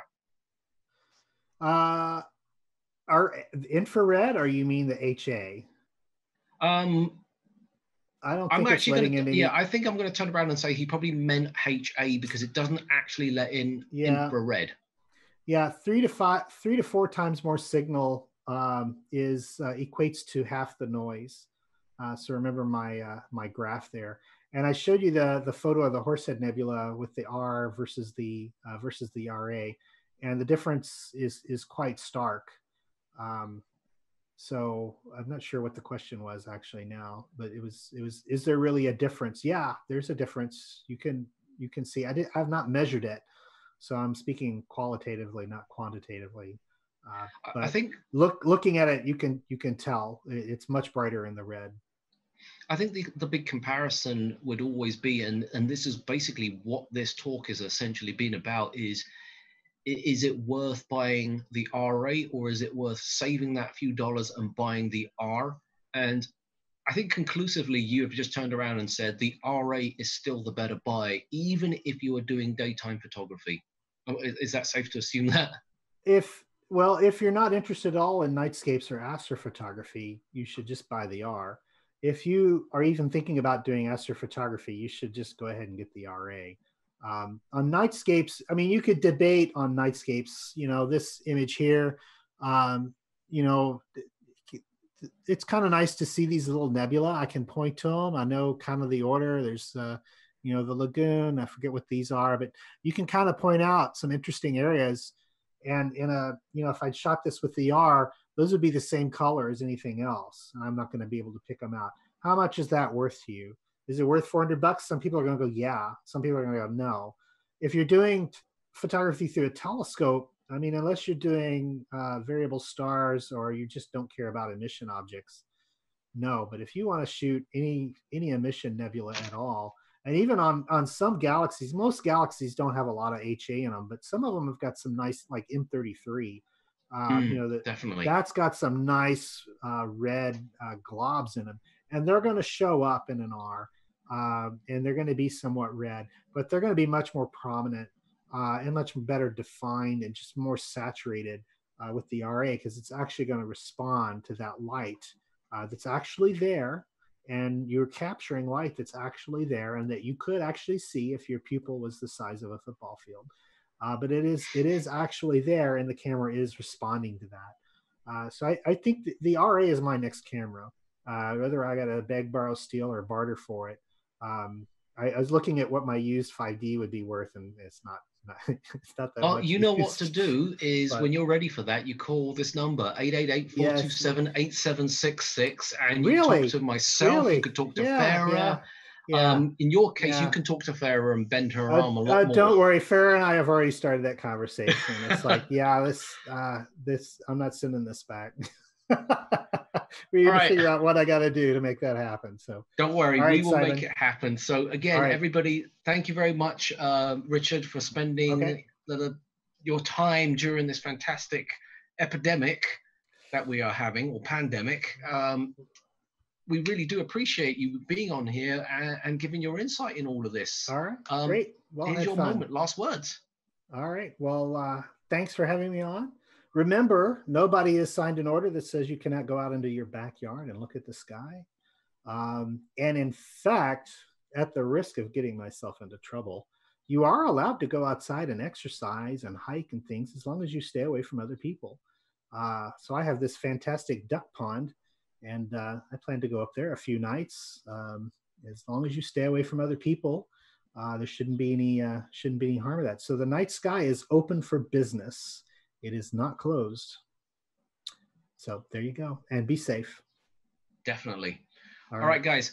Christopher Go will be on at around about 4.20, 4.30. Um, he's just having breakfast right now, believe it or not. He did just sneak onto the chat a moment ago. So uh, we're just going to play a couple of promo videos. So here's your chance to go to the bathroom, grab some snacks, take it easy for a second, and we will be back around about 4.20 and we will go from there. So we will see you soon.